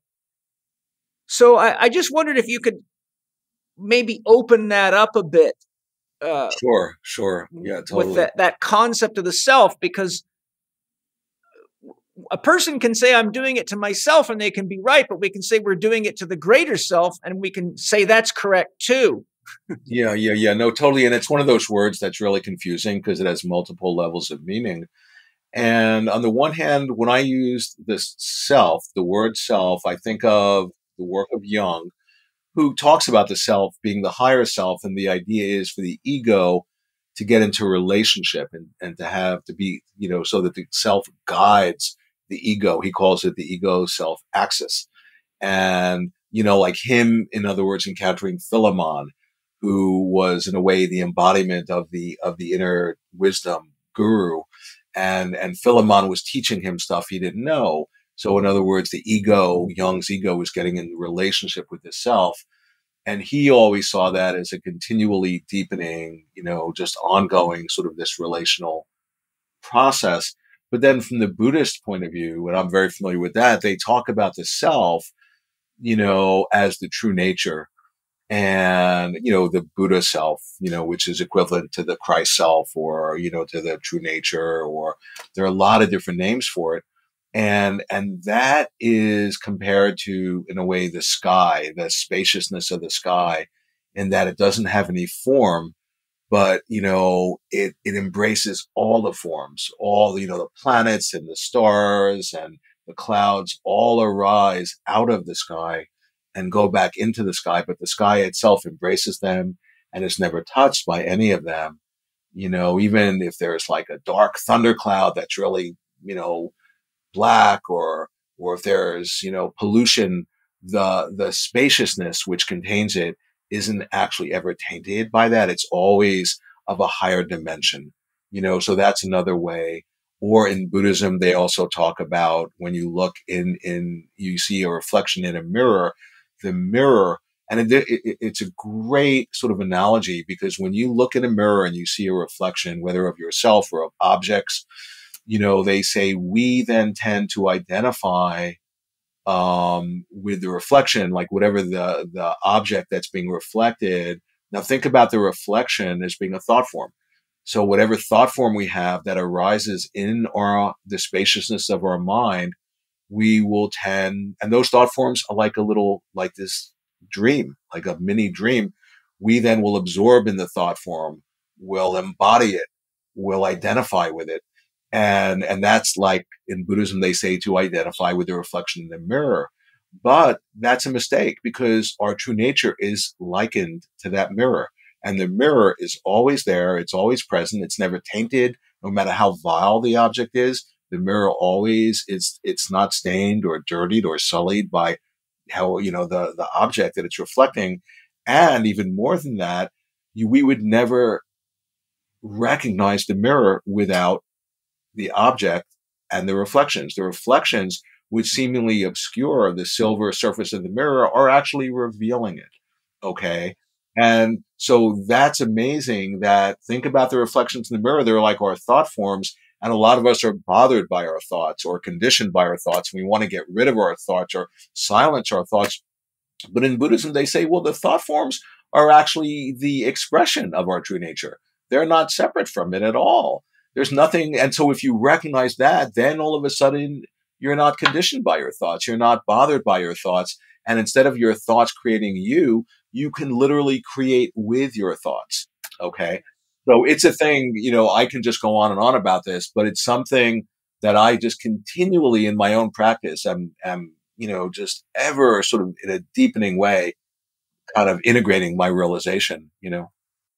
Yeah, I, I tell my students that a mirror is a perfect metaphor for unconditional love and that we must remember if source is unconditional love, then the answer to every thought, word, or desire is yes.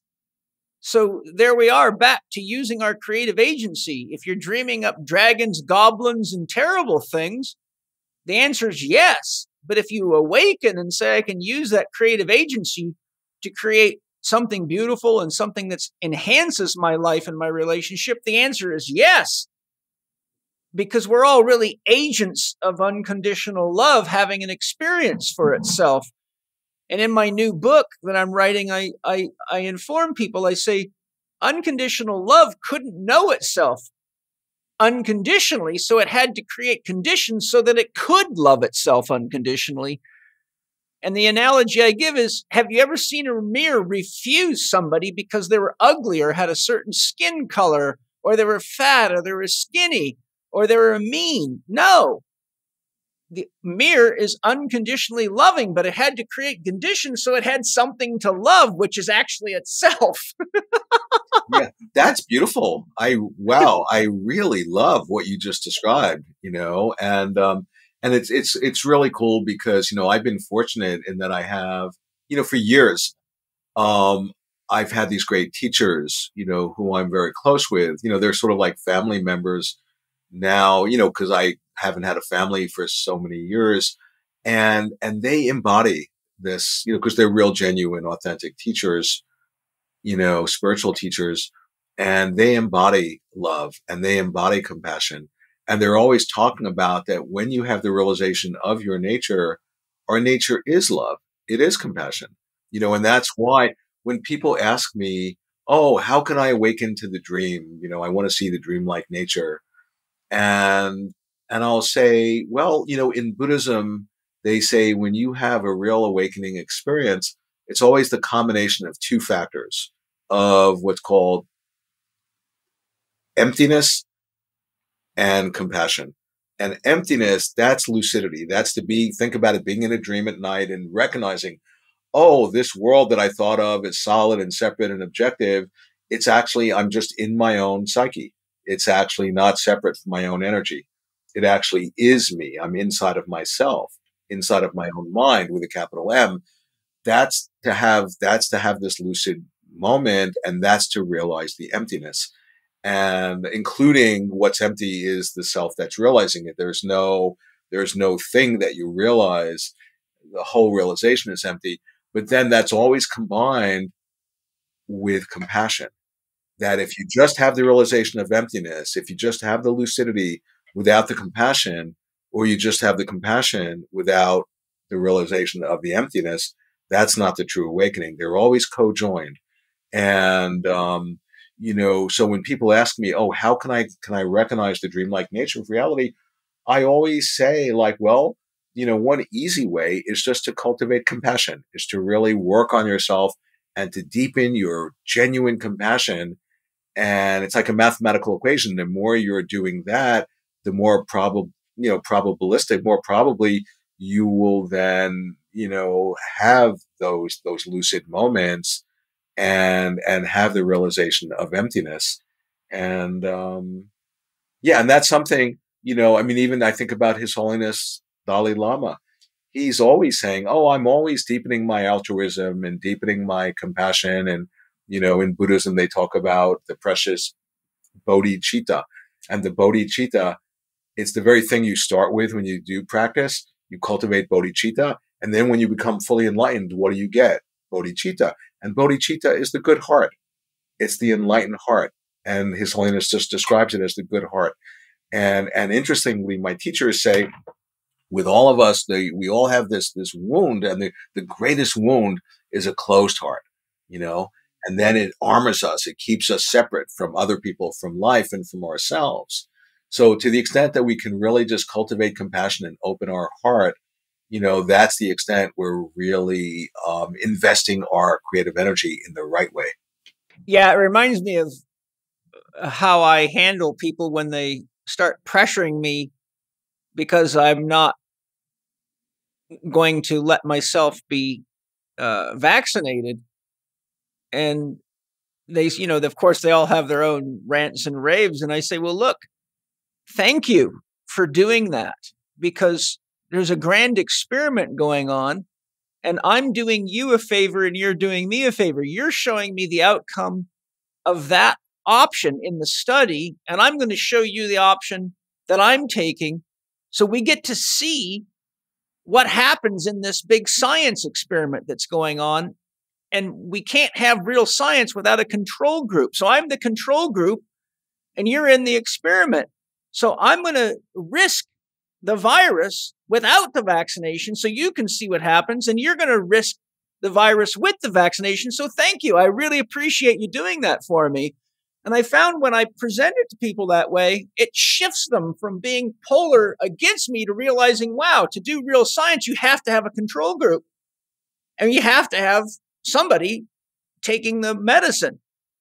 And so when they real, I say, look, we're all working for each other. We're all doing this experiment together. The difference is you don't want to make me the bad guy and I don't want to make you the bad guy, but we really do need to ask ourselves the bigger question and how did this happen in the first place? Because if we just keep running experiment after experiment without looking at the etiology of the disease that we're trying to address, then we're just going to get more of the same. And we don't have room for much more of that before we're all dead, just because of the underlying factors much bigger than any virus. It's, unless you go to Wetiko, then we now we're at the real root cause. And I think that's the beauty of our conversation. We're talking about the authentic root cause. Yeah, yeah. I just want to say what you just shared, that was incredibly inspiring, you know, because I I encounter that all the time too around the vaccine, you know. Yeah. And um, you know, and and I've chosen I'm choosing not to get vaccinated, you know, and I have I have my own reasons and um and you know, and at least in part my unconscious is one of the reasons is that, you know, I have incredibly crystal clear dreams, unequivocal dreams that, you know, about the vaccine. And, you know, and, and I've learned, no, I have such a deep relationship with my unconscious. I know, oh, that it's never wrong. You know, I know mm-hmm. it's me too. yeah, yeah, yeah.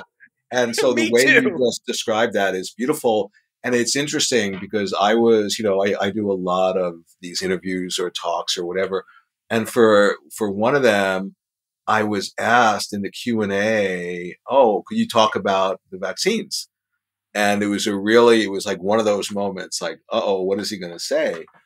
and you know, because I don't want to polarize people, and you know, I don't want to lay a trip on people or try to convince people or or otherize anybody. And so how I answered it, I basically said, well, you know, it's, it's interesting. The whole vaccine topic is so polarizing. There's the anti-vaccine, the pro-vaccine. A lot of them are just otherizing each other. They're demonizing each other. They're scapegoating each other. And I go, and Wetiko feeds off of polarization. So that's literally feeding, you know, Wetiko.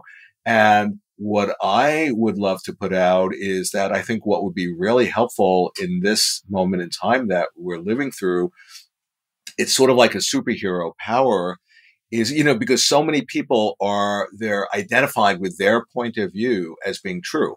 Oh, I'm in possession of the truth. And if you ask them, well, how did you come to that opinion? Oh, I read an article or I, I read the New York Times or I listened to NPR. And I'm like, oh my God, you know, so that's different than really having this realization and, you know, based on your own experience of the truth of what you're talking about. And um, so what I'm trying to present to people is to just not get fixed in a viewpoint, in any viewpoint, and actually try and entertain how the other point of view is seeing things. And what are they seeing that you're not? And what is their blind spot? And are they seeing your blind spot? And all of a sudden, developing this omni perspectival awareness can be incredibly helpful.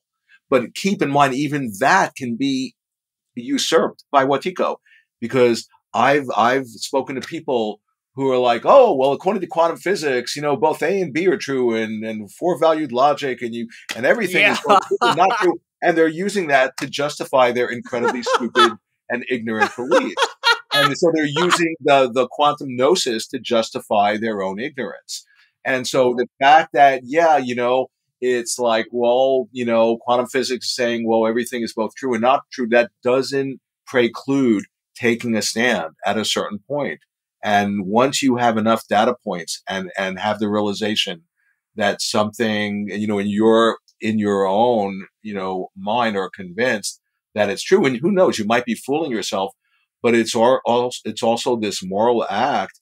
If you feel like, for example, if I feel like, you know, way back in the day when the British, when Paul Revere was like, the British are coming, the British are coming. And if somebody were to say, well, they're coming and not coming, and, you know, it's just your opinion, and how do you know? No, then they'll get, they would get killed. You know, the point is when you see, when you actually have the realization that there's like this evil force that's destructive, that's going to do harm to your loved ones and to you, you know, the question is, do you have enough courage to actually speak the truth of what, what your experience is? And, and so that's, you know, so that's a real question. And, uh, but basically what I, I just loved your answer and I'm just trying to add my little two cents of that for any of us to not get caught in a viewpoint and to really develop that omni-perspectival awareness. That I think really helps to dispel Wetiko. you you made me you you you you you made something pop into my head. I got to share it with you when you were talking about a, I'm coming, I'm not coming. You know, multi-valued logic. Uh, what came to me is uh, people need to realize life is like sex. You're either coming or you're not. That's a great bumper sticker. Yeah. oh yeah, let's do it. Oh God. I know exactly what you mean. But you know how I handle that? And this is how I teach my patients and my students to handle that. I say, look, the mind is a duality machine. And so you're going to find if you look at any topic deeply, and, I, and the example I give my students, I say, you go look up cold water therapy like cold plunges and cold dips. And you will find all sorts of highly qualified doctors saying you should never do that. It can make you sick. And then you'll find Wim Hof saying it'll turn you into Superman. You look up hot water, never do it. Oh, it's great for this, great for that. Look up vitamin C. Don't use it, do use it. Look up anything, vaccines. Don't use them, do use them. I see that's what Steiner describes as the opportunity for the birth of the awareness soul. And the awareness soul begins the day you start asking, is it really true? Is it really true that the vaccine is the answer? Is it really true that it isn't the answer? And what you'll find is you'll find all these checkmates. So the only way to get out of it is to go to your soul, which is both your unconscious and your superconscious, and get empty and don't have any idea in your head because if you're weighted to one side and you, then you're not going to hear your soul, you're going to hear your ego's answer. And that's the hard part of working with the soul. You've got to empty yourself so completely that you're willing to hear an answer that goes against your belief system, or all you'll do is reinforce your own belief system and say your soul told it to you. And then when you're laying on the hospital dead bed dying, you'll say, Dear soul, why did you tell me to do that? And your soul will say, I didn't tell you that. You told yourself that. You didn't listen to what I said. so the point I'm saying is when, whenever we have these checkmate situations, that's where we have to go into the level of the awareness soul and say, is it really true? And then don't go out of duality, post the question, but go into a non dual state. So you're receptive when the answer comes and then trust the guidance. And the reason it's a spiritual practice is because you will find until you learn to empty yourself and be brave enough to hear something that opposes your viewpoint, you're never really listening to the voice of God. You're always listening to your own programming. And that's why it's a practice. yeah, yeah. No, that's beautiful. I'm just smiling so much, Paul, as you're describing that because that so maps onto my experience. Like, think about what I was talking about, you know, with the ego self axis in Jung with Philemon, and all of a sudden developing like, uh, you know, really this this relationship, an intimate relationship with the self. And, you know, where I was thinking about it with reference to my own process is, you know, so here I am and I, I, I do these books that I write and, you know, and I write every morning.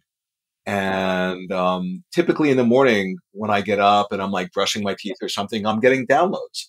And it's like I'm getting these these dictates from the boss. And at that point, I'm just the employee. And I've learned to differentiate when it's a download from on high, you know, from my higher self. And then, then I'm just like paying attention and it's, you know, teaching me and it's telling me and showing me, here's what you're going to write about today. And here's how you're going to write about it. And, and I've learned to make a distinction between that and just like, you know, the sort of the, the mind, sort of the, the squirrel cage neurotic monkey mind. That's just like, you know, and we're, we're all familiar with that but the other one where we get the download from our higher self, there's a different signature. There's a different. There energy. is. I call it the energy signature of the soul. Yeah, I say you you beautiful. You really have to spend time learning the difference between the energy signature of your ego and the energy signature of your soul. And if you don't spend time asking questions to your soul that your ego doesn't give a shit about, like what color socks should I wear today, uh, should I eat two carrots or one, then you're always going to be trying to get important answers to important questions, but not realizing that your ego's too involved. And I'm going to give you a great example for all the listeners of a real profound experience I had. This is after 20 years of working with my soul. When Angie got pregnant, I was 54. She got pregnant with Mana, and I had no interest in being a father again. I'm like, Jesus, this is the last thing I wanted at 54. I want to go off and fricking join a monastery and get retire and paint and meditate with trees. Uh, you know, like I already have a son. I know what it's like to be a parent. It's a lot of work, and I got thousands of students, so I like don't need more kids. So when she got pregnant, I said to my soul, is is my child going to be a boy or a girl? And the answer that came back was a girl. I'm like, yes, I really want to have a girl. And so I asked over and over again. And I remember Angie saying a few times, you know, I don't know if I'm going to have a girl because there is so damn much energy inside of me. And women say that when they have a girl, they're more calm inside. And you know, Mana's like doing gymnastics and their arms and legs sticking out of the womb, out of the belly. And and so when Mana came out and we and he was a boy, I was like, what the hell? How did that happen? My soul told me over, I asked, I must have asked 50 times. My soul told me I was going to have a girl. And so as soon as I got home, I got my son and went into meditation, said, What the hell? You told me I was going to have a girl and I believed you. And my soul said, No, no. I told you you were going to have a boy, but you wanted a girl so bad you didn't listen to me. You just kept telling yourself you were having a girl. You did not listen to me. I and my so my soul was saying, if you really want to hear me, you've got to stop hearing yourself, and that's the lesson here, isn't it? I'm like, oh Yeah. shit. Totally, totally. That's and the thing which is which is so beautiful about what you're describing, and we've all done that. We've all, you know, fooled ourselves. We're masters at deceiving ourselves. You know? and um and it's so interesting because then when you sort of distinguish that the the neurotic mind or just your own ego mind from the the true self and you actually pay attention in a way then you distinguish yourself it's actually by doing that you're actually participating in the creation of your of your true self. And um, so you know and this goes back to once again the profound importance of being creative as far as you know being the medicine for Wetiko and um, and i just love that story because who can't relate to that? Who hasn't fooled themselves in that way you know i mean that's where we're, we're we're these geniuses if people think oh no i'm not a genius oh yes you are look at what a genius you are of tricking yourself out of your own right mind. You yeah, know? too, Yeah. too good. Just absolutely masterful at it. And that brings up my point. Look how good we are at tricking ourselves into create what we don't want. Why don't we just get still together, listen to people like Paul Levy and whoever else that we know is wise because their life reflects it, and learn to use that very power to create what we all can enjoy together and make life sustainable so we can keep practicing instead of having to go back to the drawing board and go, well, we fucked that one up. Hi, everybody. I sure hope you're enjoying the podcast today. You know, it's sad that most people are either in too much of a rush to prepare fresh organic greens, be they vegetables or green fruits like fresh green apples, and end up grazing on inferior foods, but it comes with a cost. Nutrient depletion, reduced capacity to handle stress, reduced immune resilience, and you age more rapidly. But Organifi comes to our aid again with an amazingly tasty, nutritious addition their new crispy apple green juice. But it's more than just another apple drink. It's packed with your favorite adaptogens and superfoods. Some key features of Organifi's new crisp apple green juice are delicious taste from organic crisp apples, organic whole apple sources, hand picked, including Golden Delicious from Washington, Northern Spy, McIntosh, Ida Red, and Empire from Ontario, Canada.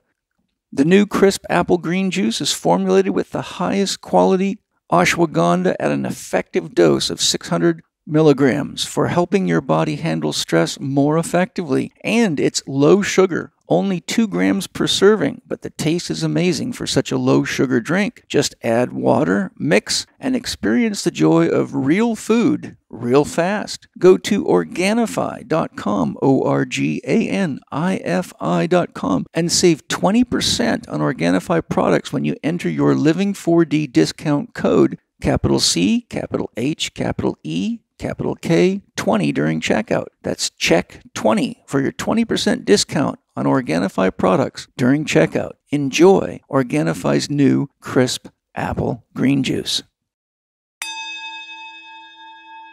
The thing I wanted to say, I'm, I'm noticing I have this reaction when you, you know, refer to me as this wise person because, you know, and I think this might be helpful for people.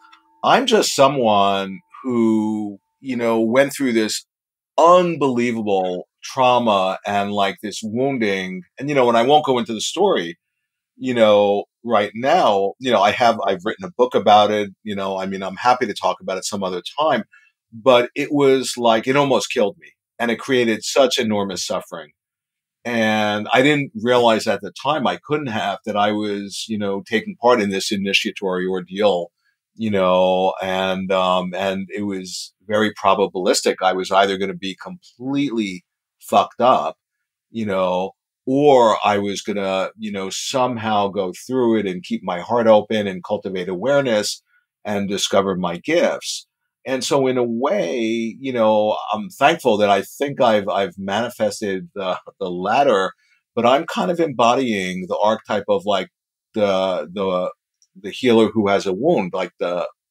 Wounded the healer. wounded, the wounded healer and that you know why i bring that up is because so many, we're all wounded. We're all, I mean, think about just the last two years. It's an incredible over the top trauma. We're, we're a species in trauma.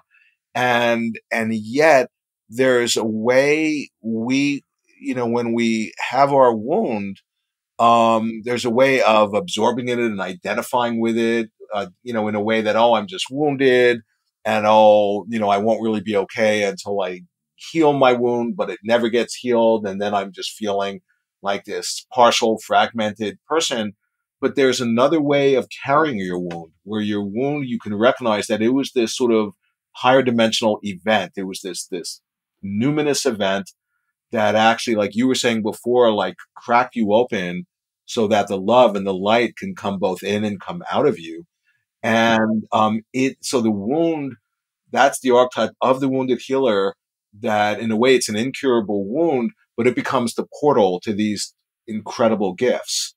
And the wounded healer is related to the figure of the shaman. And I'm certainly no shaman. I'll joke with my friends only in my in my dreams am I a shaman. But the point is, we're all shamans. We're all shamans, wounded healers in training and that that's the deeper archetype that's activated. You know, we're going through a death rebirth experience. We're descending into the darkness of the unconscious. And to the extent we don't split off from that and just indulge our habitual patterns and our addictions and, you know, identify with our wounds, you know, and that's a real danger. And a lot of people do that. But if we're able to just presence our wound and, and to carry it in a certain way, it will then, it becomes a doorway you know, to our nature, to our true nature. And I can talk about this with authority because, you know, like people who, who know me really well, I mean, I'm the last thing from an enlightened person. No, I'm just, I have my stuff, my woundedness, my trauma, but the way I carry it, it actually give it, it just connects me with this incredible creative source that just always comes through me. And why I'm sharing that and being just like really vulnerable is because I think that that's all of us. And that can really help to take us out of the, the pathologizing ourselves, thinking there's something wrong with us, and just having the recognition, oh no, this is I'm I'm an instantiation of the of the macrocosm, of the collective condition. I mean, that's what the shaman does. The shaman will literally take on the illness that the person or the community they're working with is suffering from and taking it on means they'll they'll have it out with it, but they'll take it within themselves and they'll fall ill, and they will experience the illness from the inside subjectively. But then they will take that experience of falling ill as the actual event and process through which they even more deeply connect with their soul, with who they are, with the self. And then by doing that energetically, that that healing that they've experienced through the experience of being wounded and reconnecting with themselves with their wholeness non-locally energetically gets gets registered and expressed non-locally through the whole universe and so we have all been made sick by the collective psychosis and that's what makes us potentially shamans in training and if we could carry that sickness in a way that more deeply connects us with our creativity with our nature then we're actually being, you know, part of the solution. Well, the other thing about it too is that if you look at it like a science experiment that we've been running over and over again for eons, we can okay. We at some point we just got to all say, okay, uh, we've now done this 82 billion times. We know that we're really good at producing what we don't want. We know we're good at hurting each other. We know we're good at making each other sick. We know we're good at avoiding responsibility, dot, dot, dot. So now we got to say, how about if we run the other experiment and see what we can create positively that connects us, that is an expression of love, that is converting Wetiko into its opposing power? How about instead of doing the 18th million experiment to see what it looks like when you frown in a mirror and stand with poor posture, you try smiling and standing with good posture and say, I love me. I can't wait to share me with the world today. I got to go out and share my love? Because we've already done the other experiment enough. I mean, at what point does the double blind journal agree? Okay, you got a definite result here. yeah, totally, totally. It makes me think what you're saying, you know, as an artist, you know, I've been creating um, this happening and art happening for years and it's free membership and full benefits for everyone. And it's an art happening called Global Awakening, you know, that we, we can realize that we can all hook up with each other. You know, like I was saying, get in phase, get in sync with each other, you know, and in a way support each other's awakening, you know, and we can help to actually wake ourselves up and to stabilize that lucidity and and that can go viral and that's you know so when i was saying before about you know the importance of creativity and how it's like a flatland idea just to be painting and drawing no every every moment of our lives is creative we are creative beings you know and some people are so genius at being creative they will literally create the experience that they're not creative and they will absolutely draw all the evidence confirming in their life, no, I'm completely not creative. And what they've done, they've used their creative genius to create the experience of not being creative. And it's mind blowing. Wow, what a genius you are. How creative you are that you've created that. But that's what you're pointing at. That's like one person's example of what we're doing collectively. And what about if we actually just re, you know, rechannel that energy instead of in a way of killing us in a way that's actually gonna, gonna help us to to, in a way, discover who we are. And that's in a way, in a sense, what all this is about. Yeah, and and you know, there's so many people out there that are kind of think spirituality is foo foo and blah blah blah. So I say, oh, good. Let's just be completely and utterly rational. How many times have you used your creative energy to create pain and dysfunction in your relationships? Just be brutally logical. A billion. 10 billion. Okay, good. Now let's be really logical. Let's change your orientation and think about what it is that you really want and need in your life to be healthy and vital and creative and contribute to the world and run the experiment.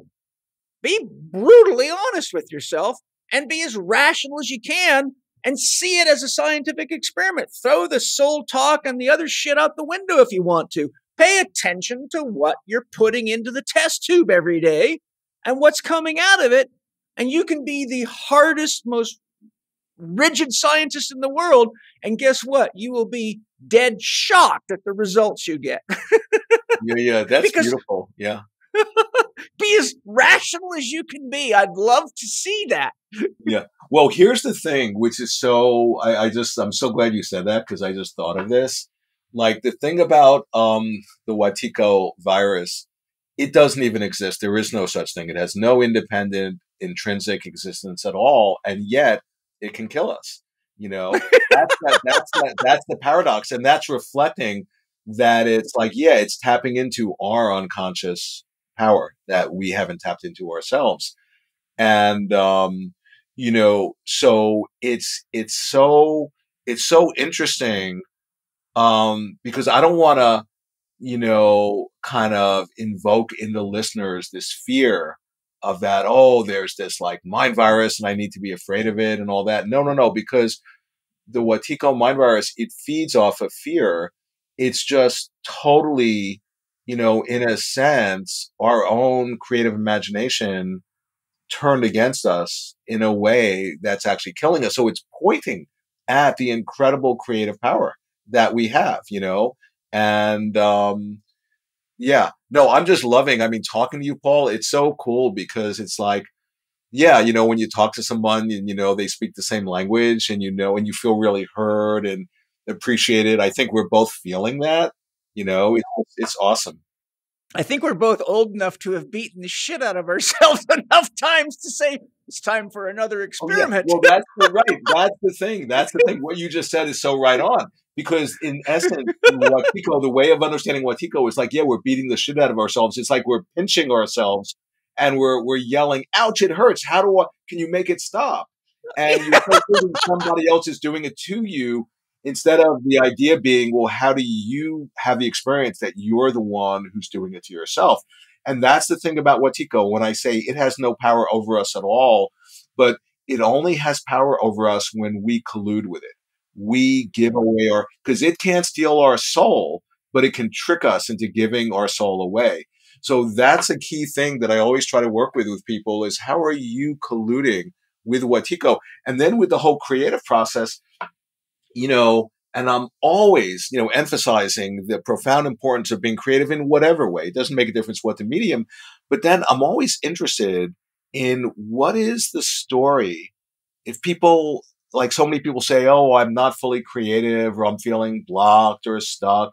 And I'm like, okay, what's stopping you? What is, what is the story you're telling yourself? that's stopping you from fully just stepping into your creativity. And what I've noticed in myself is that, you know, for a number of years, right when I would be like about to have a breakthrough, whether I was painting or drawing or writing or whatever it was I was doing, there would be this incredible resistance.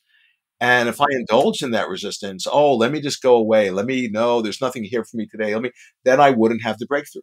But I've learned the greater the resistance, the greater the breakthrough. And it was interesting. This is related. There was one time after I got out of the last hospital, and you know, which was '82, and then I found these great teachers, these these Tibetan, these lamas, who you know, they became like family members, and and I would be seeing them all the time, and I was always telling them how much pain I was in and the trauma.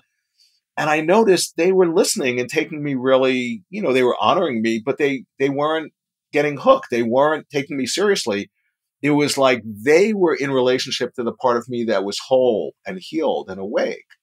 And they could do that because they saw, because they were in touch with the part of them that was whole and healed and awake. And I've realized, oh my God, that's kind of what I do. And I think what, what any real healer does is whenever they're working with someone, they see their story and their identification with being wounded. That's the Halloween costume. That's what I call it. And they don't get hooked by that. But to the extent that you're in touch with your own wholeness, you see the other person in their wholeness as already being whole, already being healed. And by the lamas doing that to me, it helped me to step into the part of me that was healed, you know? And one time though, I was talking to them about the demons and the trauma and the evil and the abuse from my father. And they said to me something I'll never forget. I right away, I, I heard the truth of it. They said, Paul, it's because you have such potential for light that the demons are even interested. And I realized that's not just me, that's all of us, you know? And so, in other words, every day. So, for example, there was my friend, a really good friend, he did the audiobook for the new book because I, I didn't want to read it. And, and he was really good at it. So I, you know, I asked him to read it and he's this, this minister. That's what he does for a living. And he said to me, he goes, Paul, I couldn't believe what happened. Once I began to read your book, I was like attacked by demons like every day. I and I began laughing and laughing and going, well, what do you think it was right? What do you, what do you think it was like to write the book? Because yeah. I was like every day getting attacked by these demons, but I took that as, oh, this is a sign I'm on the right path. Great. You know, instead of like, wow, I'm really fucked up and I have a problem, it was like, no, this is this is telling me I'm like, yes. yeah, I'm like on the right path. So, you know, I, I just wanted, I'm glad to remember to say that because I wanted your listeners to hear that, you know? Oh, it's great. Well, I have to say, you inspired a new definition of mind for me that I think I'll have to email to Dr. Dan Siegel to go with his mind. Something that doesn't exist but can kill you. totally. Uh, yeah, yeah, yeah. Many, lots of my students and friends have asked me over the years, can you tell me what a shaman really is? Because it's hard to define that. And I say, Yes, I can. A shaman is someone who's played all the games you're playing with yourself, but they're much better at them than you are, so they can easily recognize yours. yeah, yeah, that and plus, like in in physics, the quantum physicists, the founding fathers, they were saying, no, there's no such thing as experts. We're all amateurs, but what what we're expert in, we know where all the mistakes are because we've made them yes. yeah, so good. Uh, from my studies on your works on Wetiko, it seems that Wetiko fits the definition of an entity, be it a thought form or an egregore. Um, in Mark Stavish's book titled Egregores, he states that egregore, uh, he states uh, regarding egregores that an egregore is an entity that is an artificial being whose creator or creators become its slaves. If you agree that Wetiko as an egregore fits that classification, what is it within human beings that seems to have them forever creating such entities and ultimately being enslaved by them? yeah, yeah, yeah. And I totally agree with that. I mean, I have a like a whole section on egregores in my in my new book. Yeah, I read it. Yeah, yeah, yeah. yeah. Good. No, no, it's totally a trip. And it's like the sorcerer's apprentice who like conjures up like from the bones of a dead tiger, conjures up the tiger, and then the tiger devours the apprentice. It's like that. I mean, that's we're we are that sorcerer's apprentice where we we have this power beyond measure with these magicians but we're using our magic in a way that's killing us it's so perverse and it's so insane you know but when you see it i mean it's just such a mind-blowing thing and the idea of an egregore it's so interesting because in psychology speak they talk about autonomous complexes that you know when we get traumatized you know and by definition the trauma is something we can't integrate in the normal way we can't symbolize it it's overwhelming so we split we become, you know, disassociated. And then if we don't, you know, integrate that split off part, it develops an autonomy of its own. That's why, you know, in psychology, they're called autonomous complexes that will manifest as if they have this life and independent will of its own. And, and the indigenous people call autonomous complexes, that's what they, they would call a demon. And, and so all of this is related to an egregore that an egregore actually doesn't even in, independently exist. It was mind, it was conjured up by the practitioner's mind. And there are people who are pointing out, yeah, it's like there's a collective egregore, you know, striding society, you know, in our world that we have dreamed up. That's what I mean when I say Wetiko is a dreamed up phenomena. Like my, my next book on Wetiko, due out in a year, is Undreaming Wetiko you know, and it's pointing out that, yeah, because we've created Wetiko, we've dreamed up Wetiko, we can undream it just like an egregore, you can uncreate it. Yeah, I, I love that. So I'm going to go to a section of your book here because this is a, an interesting topic. I want to hear your thoughts on. Um, so when it comes to healing Wetiko, in your book, starting at the bottom of page 69 and then continuing on page 70, you were referring to the fact that egregores are similar to Tibetan tulpas, which I've studied.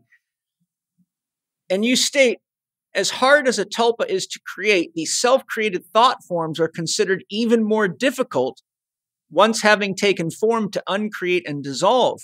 Imagine how much more challenging it would be to dissolve a collectively dreamed up egregore, a human created mutually shared thought form. The challenge, however, starts with each one of us right now in this moment. Once a critical mass is reached, of people who are dreaming up the tulpa egregore dissolution, the tulpa egregore will indeed dissolve in no time at all. Now, when I read that, because I've studied egregores quite a lot in thought forms and Leadbeater's work and Annie Besant and blah, blah, blah, and I also work with them in people that come to me with what we would call possessions and multiple personality disorders. There's a collection of complexes. Um, this came to me to to dialogue with you on. I bring this up because the energy of an egregore is highly or heavily linked to any ritual practice associated with it. And to abolish an egregore, all such practices must be completely stopped, or the egregore is fed and enlivened again.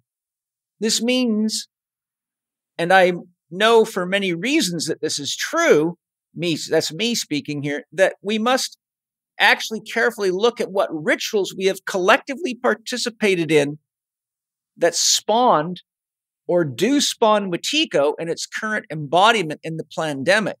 Historically, when Christians, Romans, and others invaded other territories where people held belief systems that were contradictory to their captors or the invaders, then what they would do is they would burn every statue or building like churches, any this is why we see so many sculptures in these places with their faces chopped off because they believed that you had to destroy any of the insignia or any of the ritual uh, tools that supported the practice of creating the egregore that they wanted to get rid of.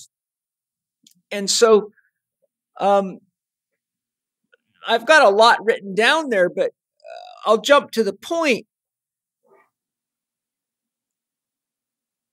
the point is, is that an egregore is fed by the rituals that are linked to the creation of it. And we are, as a world culture, we have a lot of political rituals. We have a lot of business rituals. We have a lot of religious rituals.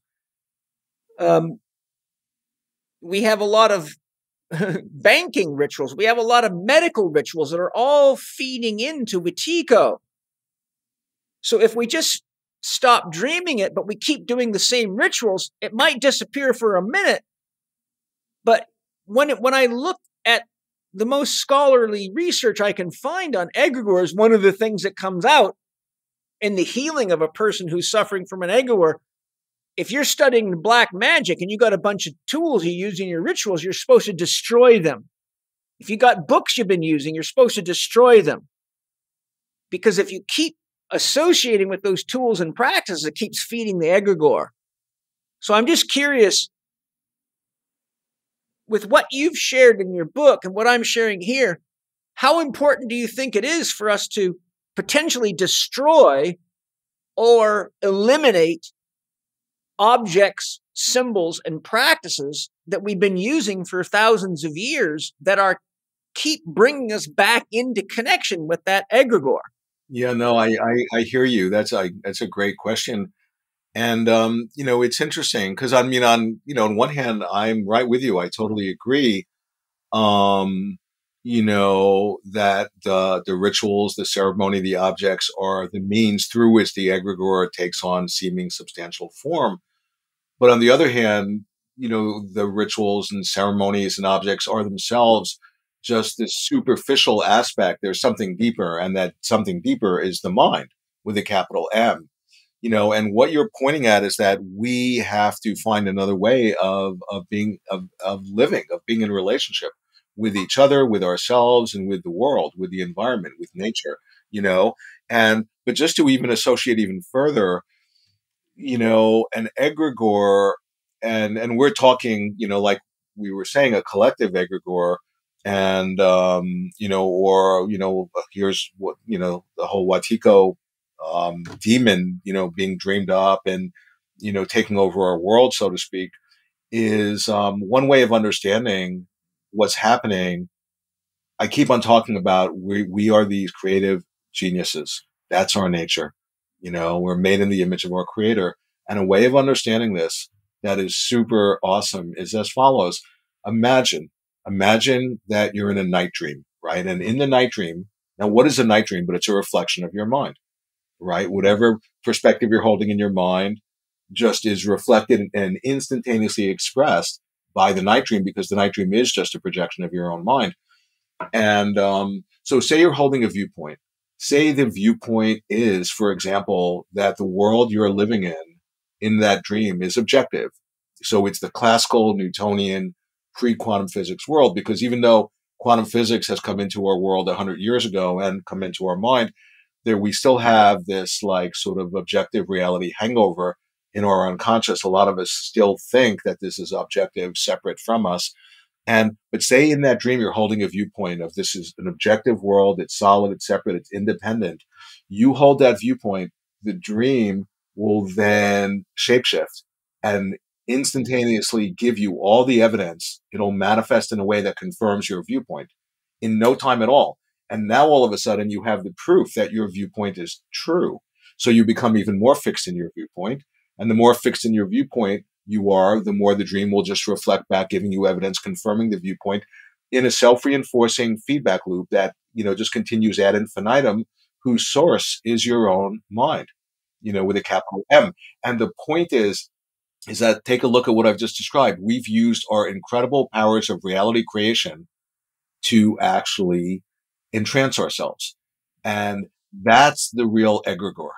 Okay. And then we dream up the world to reflect back our fixed viewpoint and our unconscious viewpoint you know, and we've disconnected from that. We like it, it, reminds me. I remember I, I I don't think I've ever said this on on an interview, but I thought about it in the last year.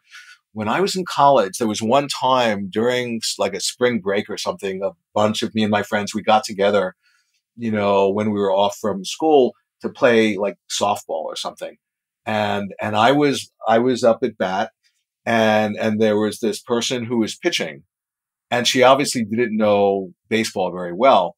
And I was just like, you know, taking my check swings, like getting ready. And, and, and I kept on like, you know, getting ready and taking my check swings, just waiting for her to pitch the ball. And she started screaming at me, going, stop that, stop that. and I, I, just like began cracking up because she didn't realize the way to make me to stop that was to pitch the ball. She was completely cut off from her agency. That as soon as she pitched the ball, I would I would stop but she was not aware of that and she just wasn't in touch with her own power. And I realized, oh my God, that's a perfect symbol for us. We don't realize our creative power, you know? So in a way, and that's at the bottom of the real egregore. Sometimes I'm in a hurry and in a hurry between engagements, lunch, or dinner, and dinner won't be ready for a while. So I just want to eat something delicious that's quick and easy. And that is when I say, thank God for Paleovalley. Paleo Valley has extremely high standards and only uses the highest quality, cleanest sources for their animal and plant food products. And they have excellent jerky meats neatly packaged so you can take them anywhere and never be stuck without something great to feed your beautiful body and stabilize your mind. I love their pasture raised turkey sticks in the original and cranberry orange flavor. Angie Penny and the kids absolutely love their grass fed beef sticks which come in jalapeno summer sausage, garlic summer sausage, teriyaki, and original flavors. I can assure you, Paleovalley's meat sticks are so good you could literally make a meal of them or have them as snacks and you'd feel satisfied and satiated and know you've fed your body top quality nutrition that will make your cells dance for joy. Yoo-hoo!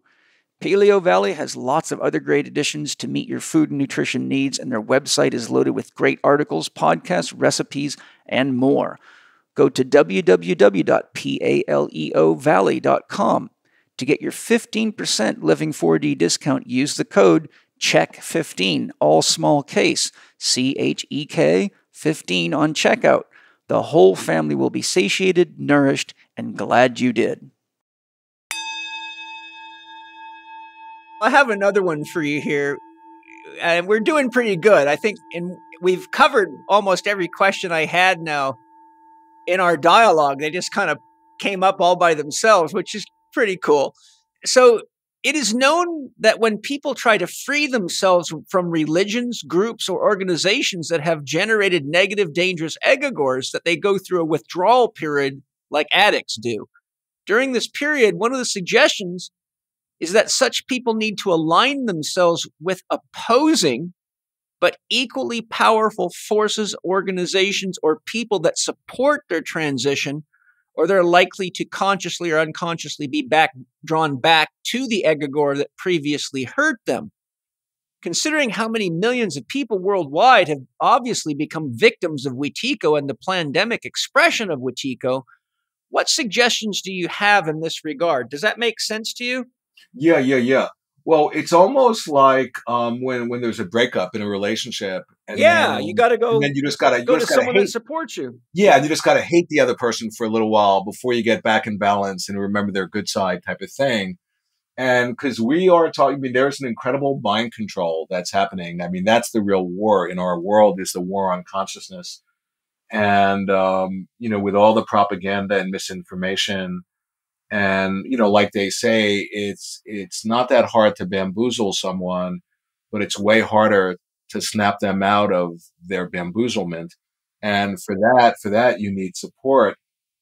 And, um, you know, and I've just been struck by no matter how much like evidence or, you know, you can, you can supply to someone, you know, who's under a spell, they're just going to integrate it to confirm their viewpoint and um, and it is very much like people in cults when they yes you know, exactly what I'm thinking that. of. Yeah, mm-hmm. no, exactly, and no, so it's really important, you know. And the thing is, is not so much important to like support them into identifying with you know any particular viewpoint with your viewpoint, but just to connect them with their own authority, with their own because that's that's the ultimate abuse is when we take away we we somehow um, you know, kind of take away people's authority with reference to their own experience. And that was what that was I could not believe when I was like being being locked up in psychiatry. they would be basically asking me, well, tell me what your experience that you're having. And I would explain to them. And their answer would basically be, well, no, that's not what you're experiencing.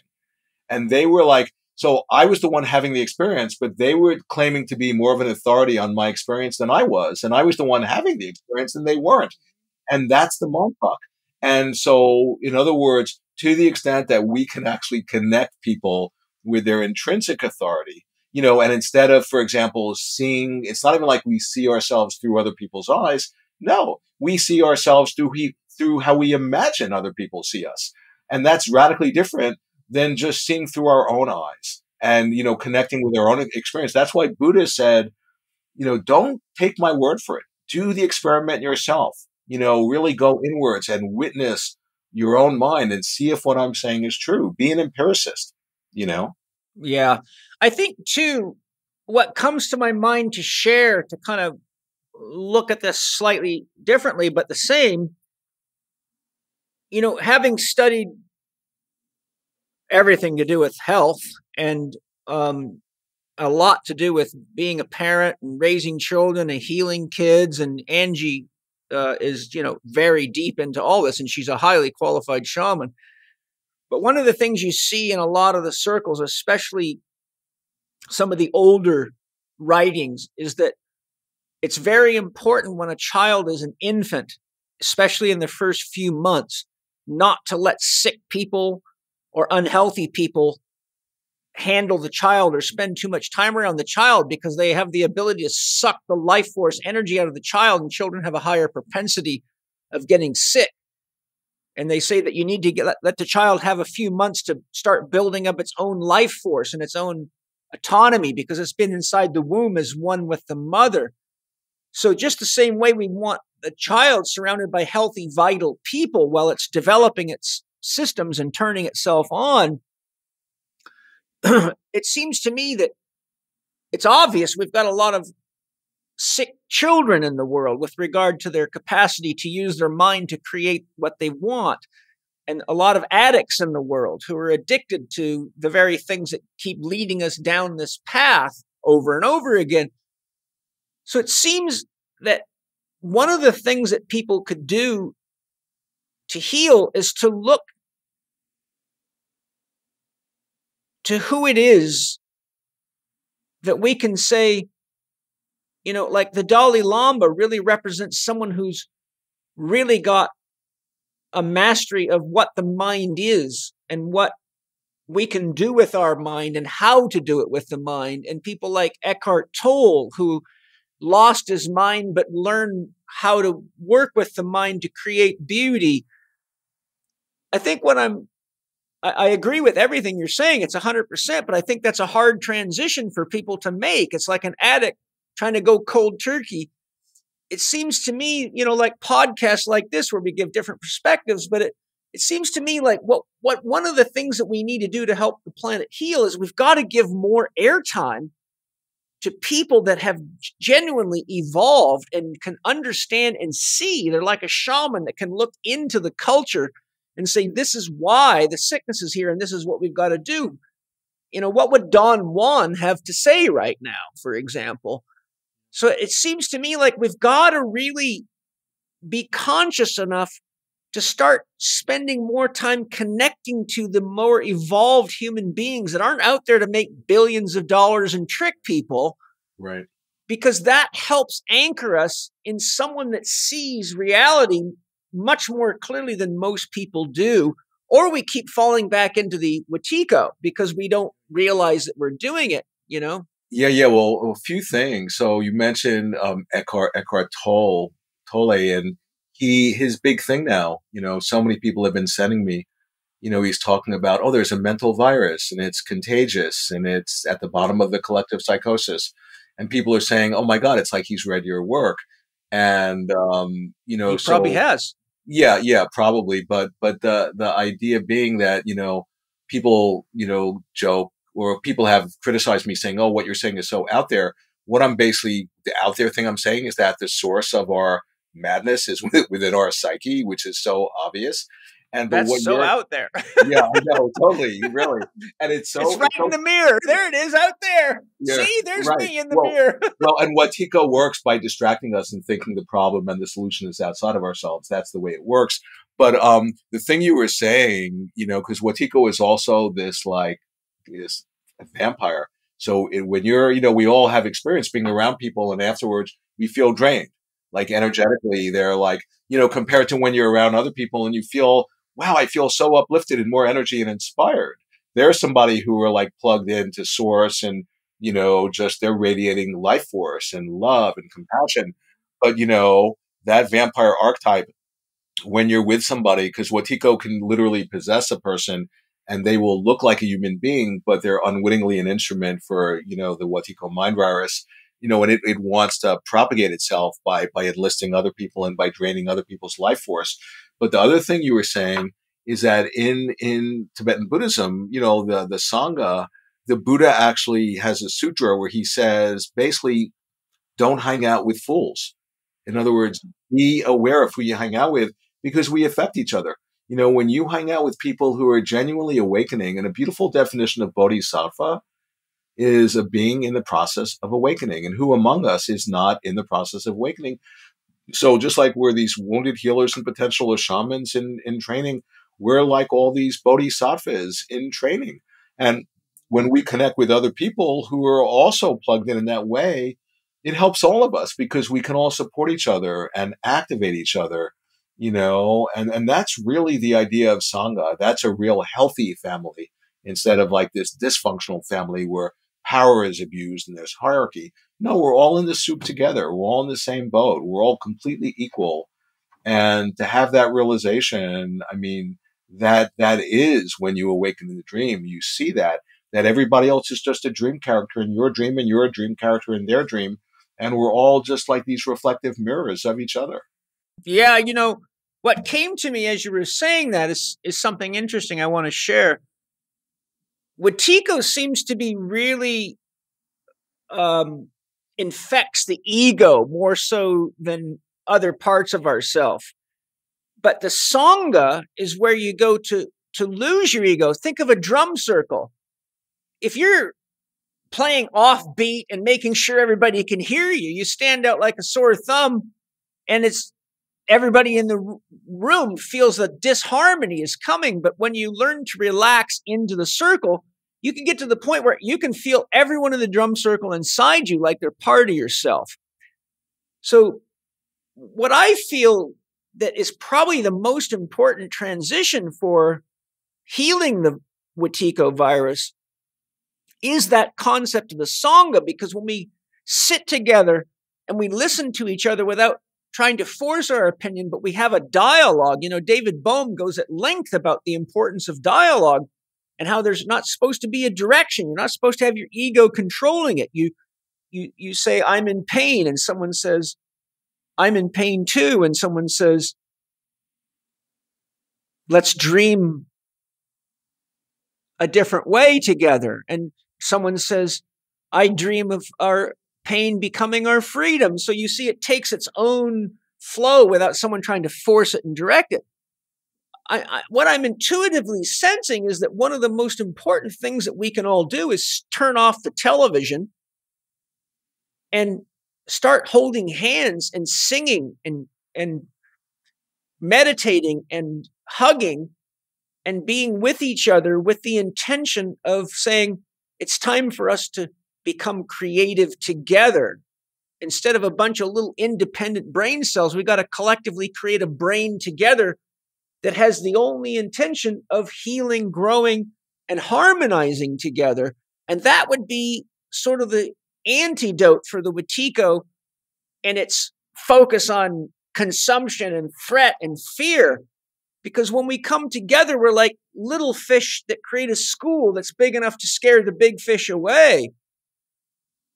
I just feel that it's really paradoxically time for us to shut off Anthony Fauci and Biden and all those types of people and go stand in parks and in dance halls and in meditation centers and just hold the orientation on what we can create together because it seems to be just the absolute medicine for the isolation, the victimization, the pressure. I don't know. Yeah, How yeah. do you feel Well, about yeah, that? yeah, yeah. No, totally. It's so funny because you're describing. So I don't know if you know. I mean, I have a whole community that's formed around me. I have all of these circles, all of these groups, and I actually have one soon. So I'm going to have to, you know, I'm cracking up, going because we could talk for. It, it's such a delight just hanging out with you, Paul, and I'm realizing, my God, we could talk for hours. But then I'm like, oh my God, I have my group happening soon. I gotta, I gotta go. But oh yeah, um, yeah, yeah, yeah, We're we're right yeah. at the end. Yeah, yeah, yeah. And and but the thing, what you're saying, absolutely. I mean, for over 25 years, I've had this community, this group, and you know, of people who who are awakening to the dream, and who are coming together and exploring what it's like, you know, um, if we really took seriously and stepped into that point of view that this is a dream and we're actually dream characters in each other's dreams and we're actually co dreaming up together whatever's manifesting moment by moment and and yeah and it's that idea of sangha again that we can come together in a way and we can be together in a way and hang out with each other in a way that is super creative. There's no technique there's no agenda we're just present to what's happening. And you know the main channel we work with is the relational channel is being in relationship and and you know and just talking out of our own experience. You know so instead of telling another person what they're doing we would be sharing what we're hallucinating they're doing. And we might we might be totally we might be totally tripping and projecting or we might be seeing their blind spot and that's up to them to do the work and self-reflect. And um yeah so so anyway so yeah that's what it brought up. But i just want to say i'm like so struck by just the incredible fun just hanging out with you you know? This Me is too. Yeah, I, I've so been waiting for you, man. He Yeah, as soon as you said you were writing a new book, I said, "Good, I got another reason to hang out with him for a couple of hours." right right and i have another one coming out in like a year so we'll have to do this within you know a year from now yeah, well, uh, my new book should be out by mid time this year, and you're one of the first people I'm going to share it with. See if I can get a quote out of you. oh absolutely totally i would love that yeah, I think you're going to find it pretty interesting. I'm, uh, I won't bore you with it now because you got to get going. So anyhow, Paul, what a I'm just so grateful for you. You know, I study a lot, I practice a lot. I really have devoted myself to my life and to doing the best I can do as a human being in my life. And when I get to be with someone that I feel as is as passionate for life and for people and for love and healing and growth as I am, I just feel like I feel like I've just been injected with with love and joy by just getting to talk to you. So thank you. Well, well, I appreciate that, but that's your that's your own projection. Just remember that. Well, it's working great. Don't stop it. totally. I'm I'm smiling in the mirror. Let's not fix it. right, right, totally. Well, I appreciate that. know. Where can people find Wetiko healing the mind virus that plagues our world? Okay, well, uh, the I, uh, the one hand, you know, any bookstore in in any of our multi galaxies, you know, or multi all around, you know, and on Amazon. And if you if you want to to awaken in the dream, go to awakeninthedream.com. That's my website. You can buy autographed copies there, um, you know, of that book or any of my books, and um, but a ton of free content, just a lot of articles and interviews. In the sense, I just want to get this information out because it's it's medicine, you know. It is, yeah, and I love your articles. You write great articles, so Well, thank you're you. a great writer, flat out, man. I just Wow, dig it. You. I- if I can even get close to how good you write, I'll I'll be really happy. So I, you're an Wow. inspiration for me, man. Well, I, well, I have to tell you one thing about that. When I went to college, I was really, you know, a good student, but I sucked at writing. It was my worst, you know, thing. And, um, and then I, it blew my mind that I eventually became a writer. And I realized it was because I wasn't interested in what I was being forced to write about in school. But as soon as I had something to say that I was passionate about, then I realized, oh, well, I found my voice. Yay. Yeah, I'm I, I agree hundred percent. I think that's so true about so many aspects of our life. But I don't want to hold you up because I want you to be fresh for your group. So you've been such a gift and I can't wait for your next book, so I have a reason to interview you again. oh, thank you so much. It's just it's so it's so awesome hanging out. Really, I just so appreciate you. Yeah. You're amazing. Thank you. Yeah. Appreciate it. Yeah, lots of love, and um, I'm excited to share this podcast. I really, I really think what we've done is just put our hearts on the table, and hopefully everybody will get high off our our love and our awareness and our willingness to grow together. So uh, that's my gift, and that's your gift. Well, it's so cool because I what I appreciate it was so it was this natural spot. It was like we were hanging out in a coffee shop. It was just super spontaneous and and alive. It wasn't scripted or like anything. We were just like tripping out together, and that's what I love. Yeah. Do, you know. Yes. So I'll close by saying thank you to all of you. I hope you really enjoyed the podcast, and I hope you really understand what Paul is sharing here. It's very important. And thank you for sharing the podcast. If you enjoyed it and you feel that there's medicine here, please share it with as many people as you can.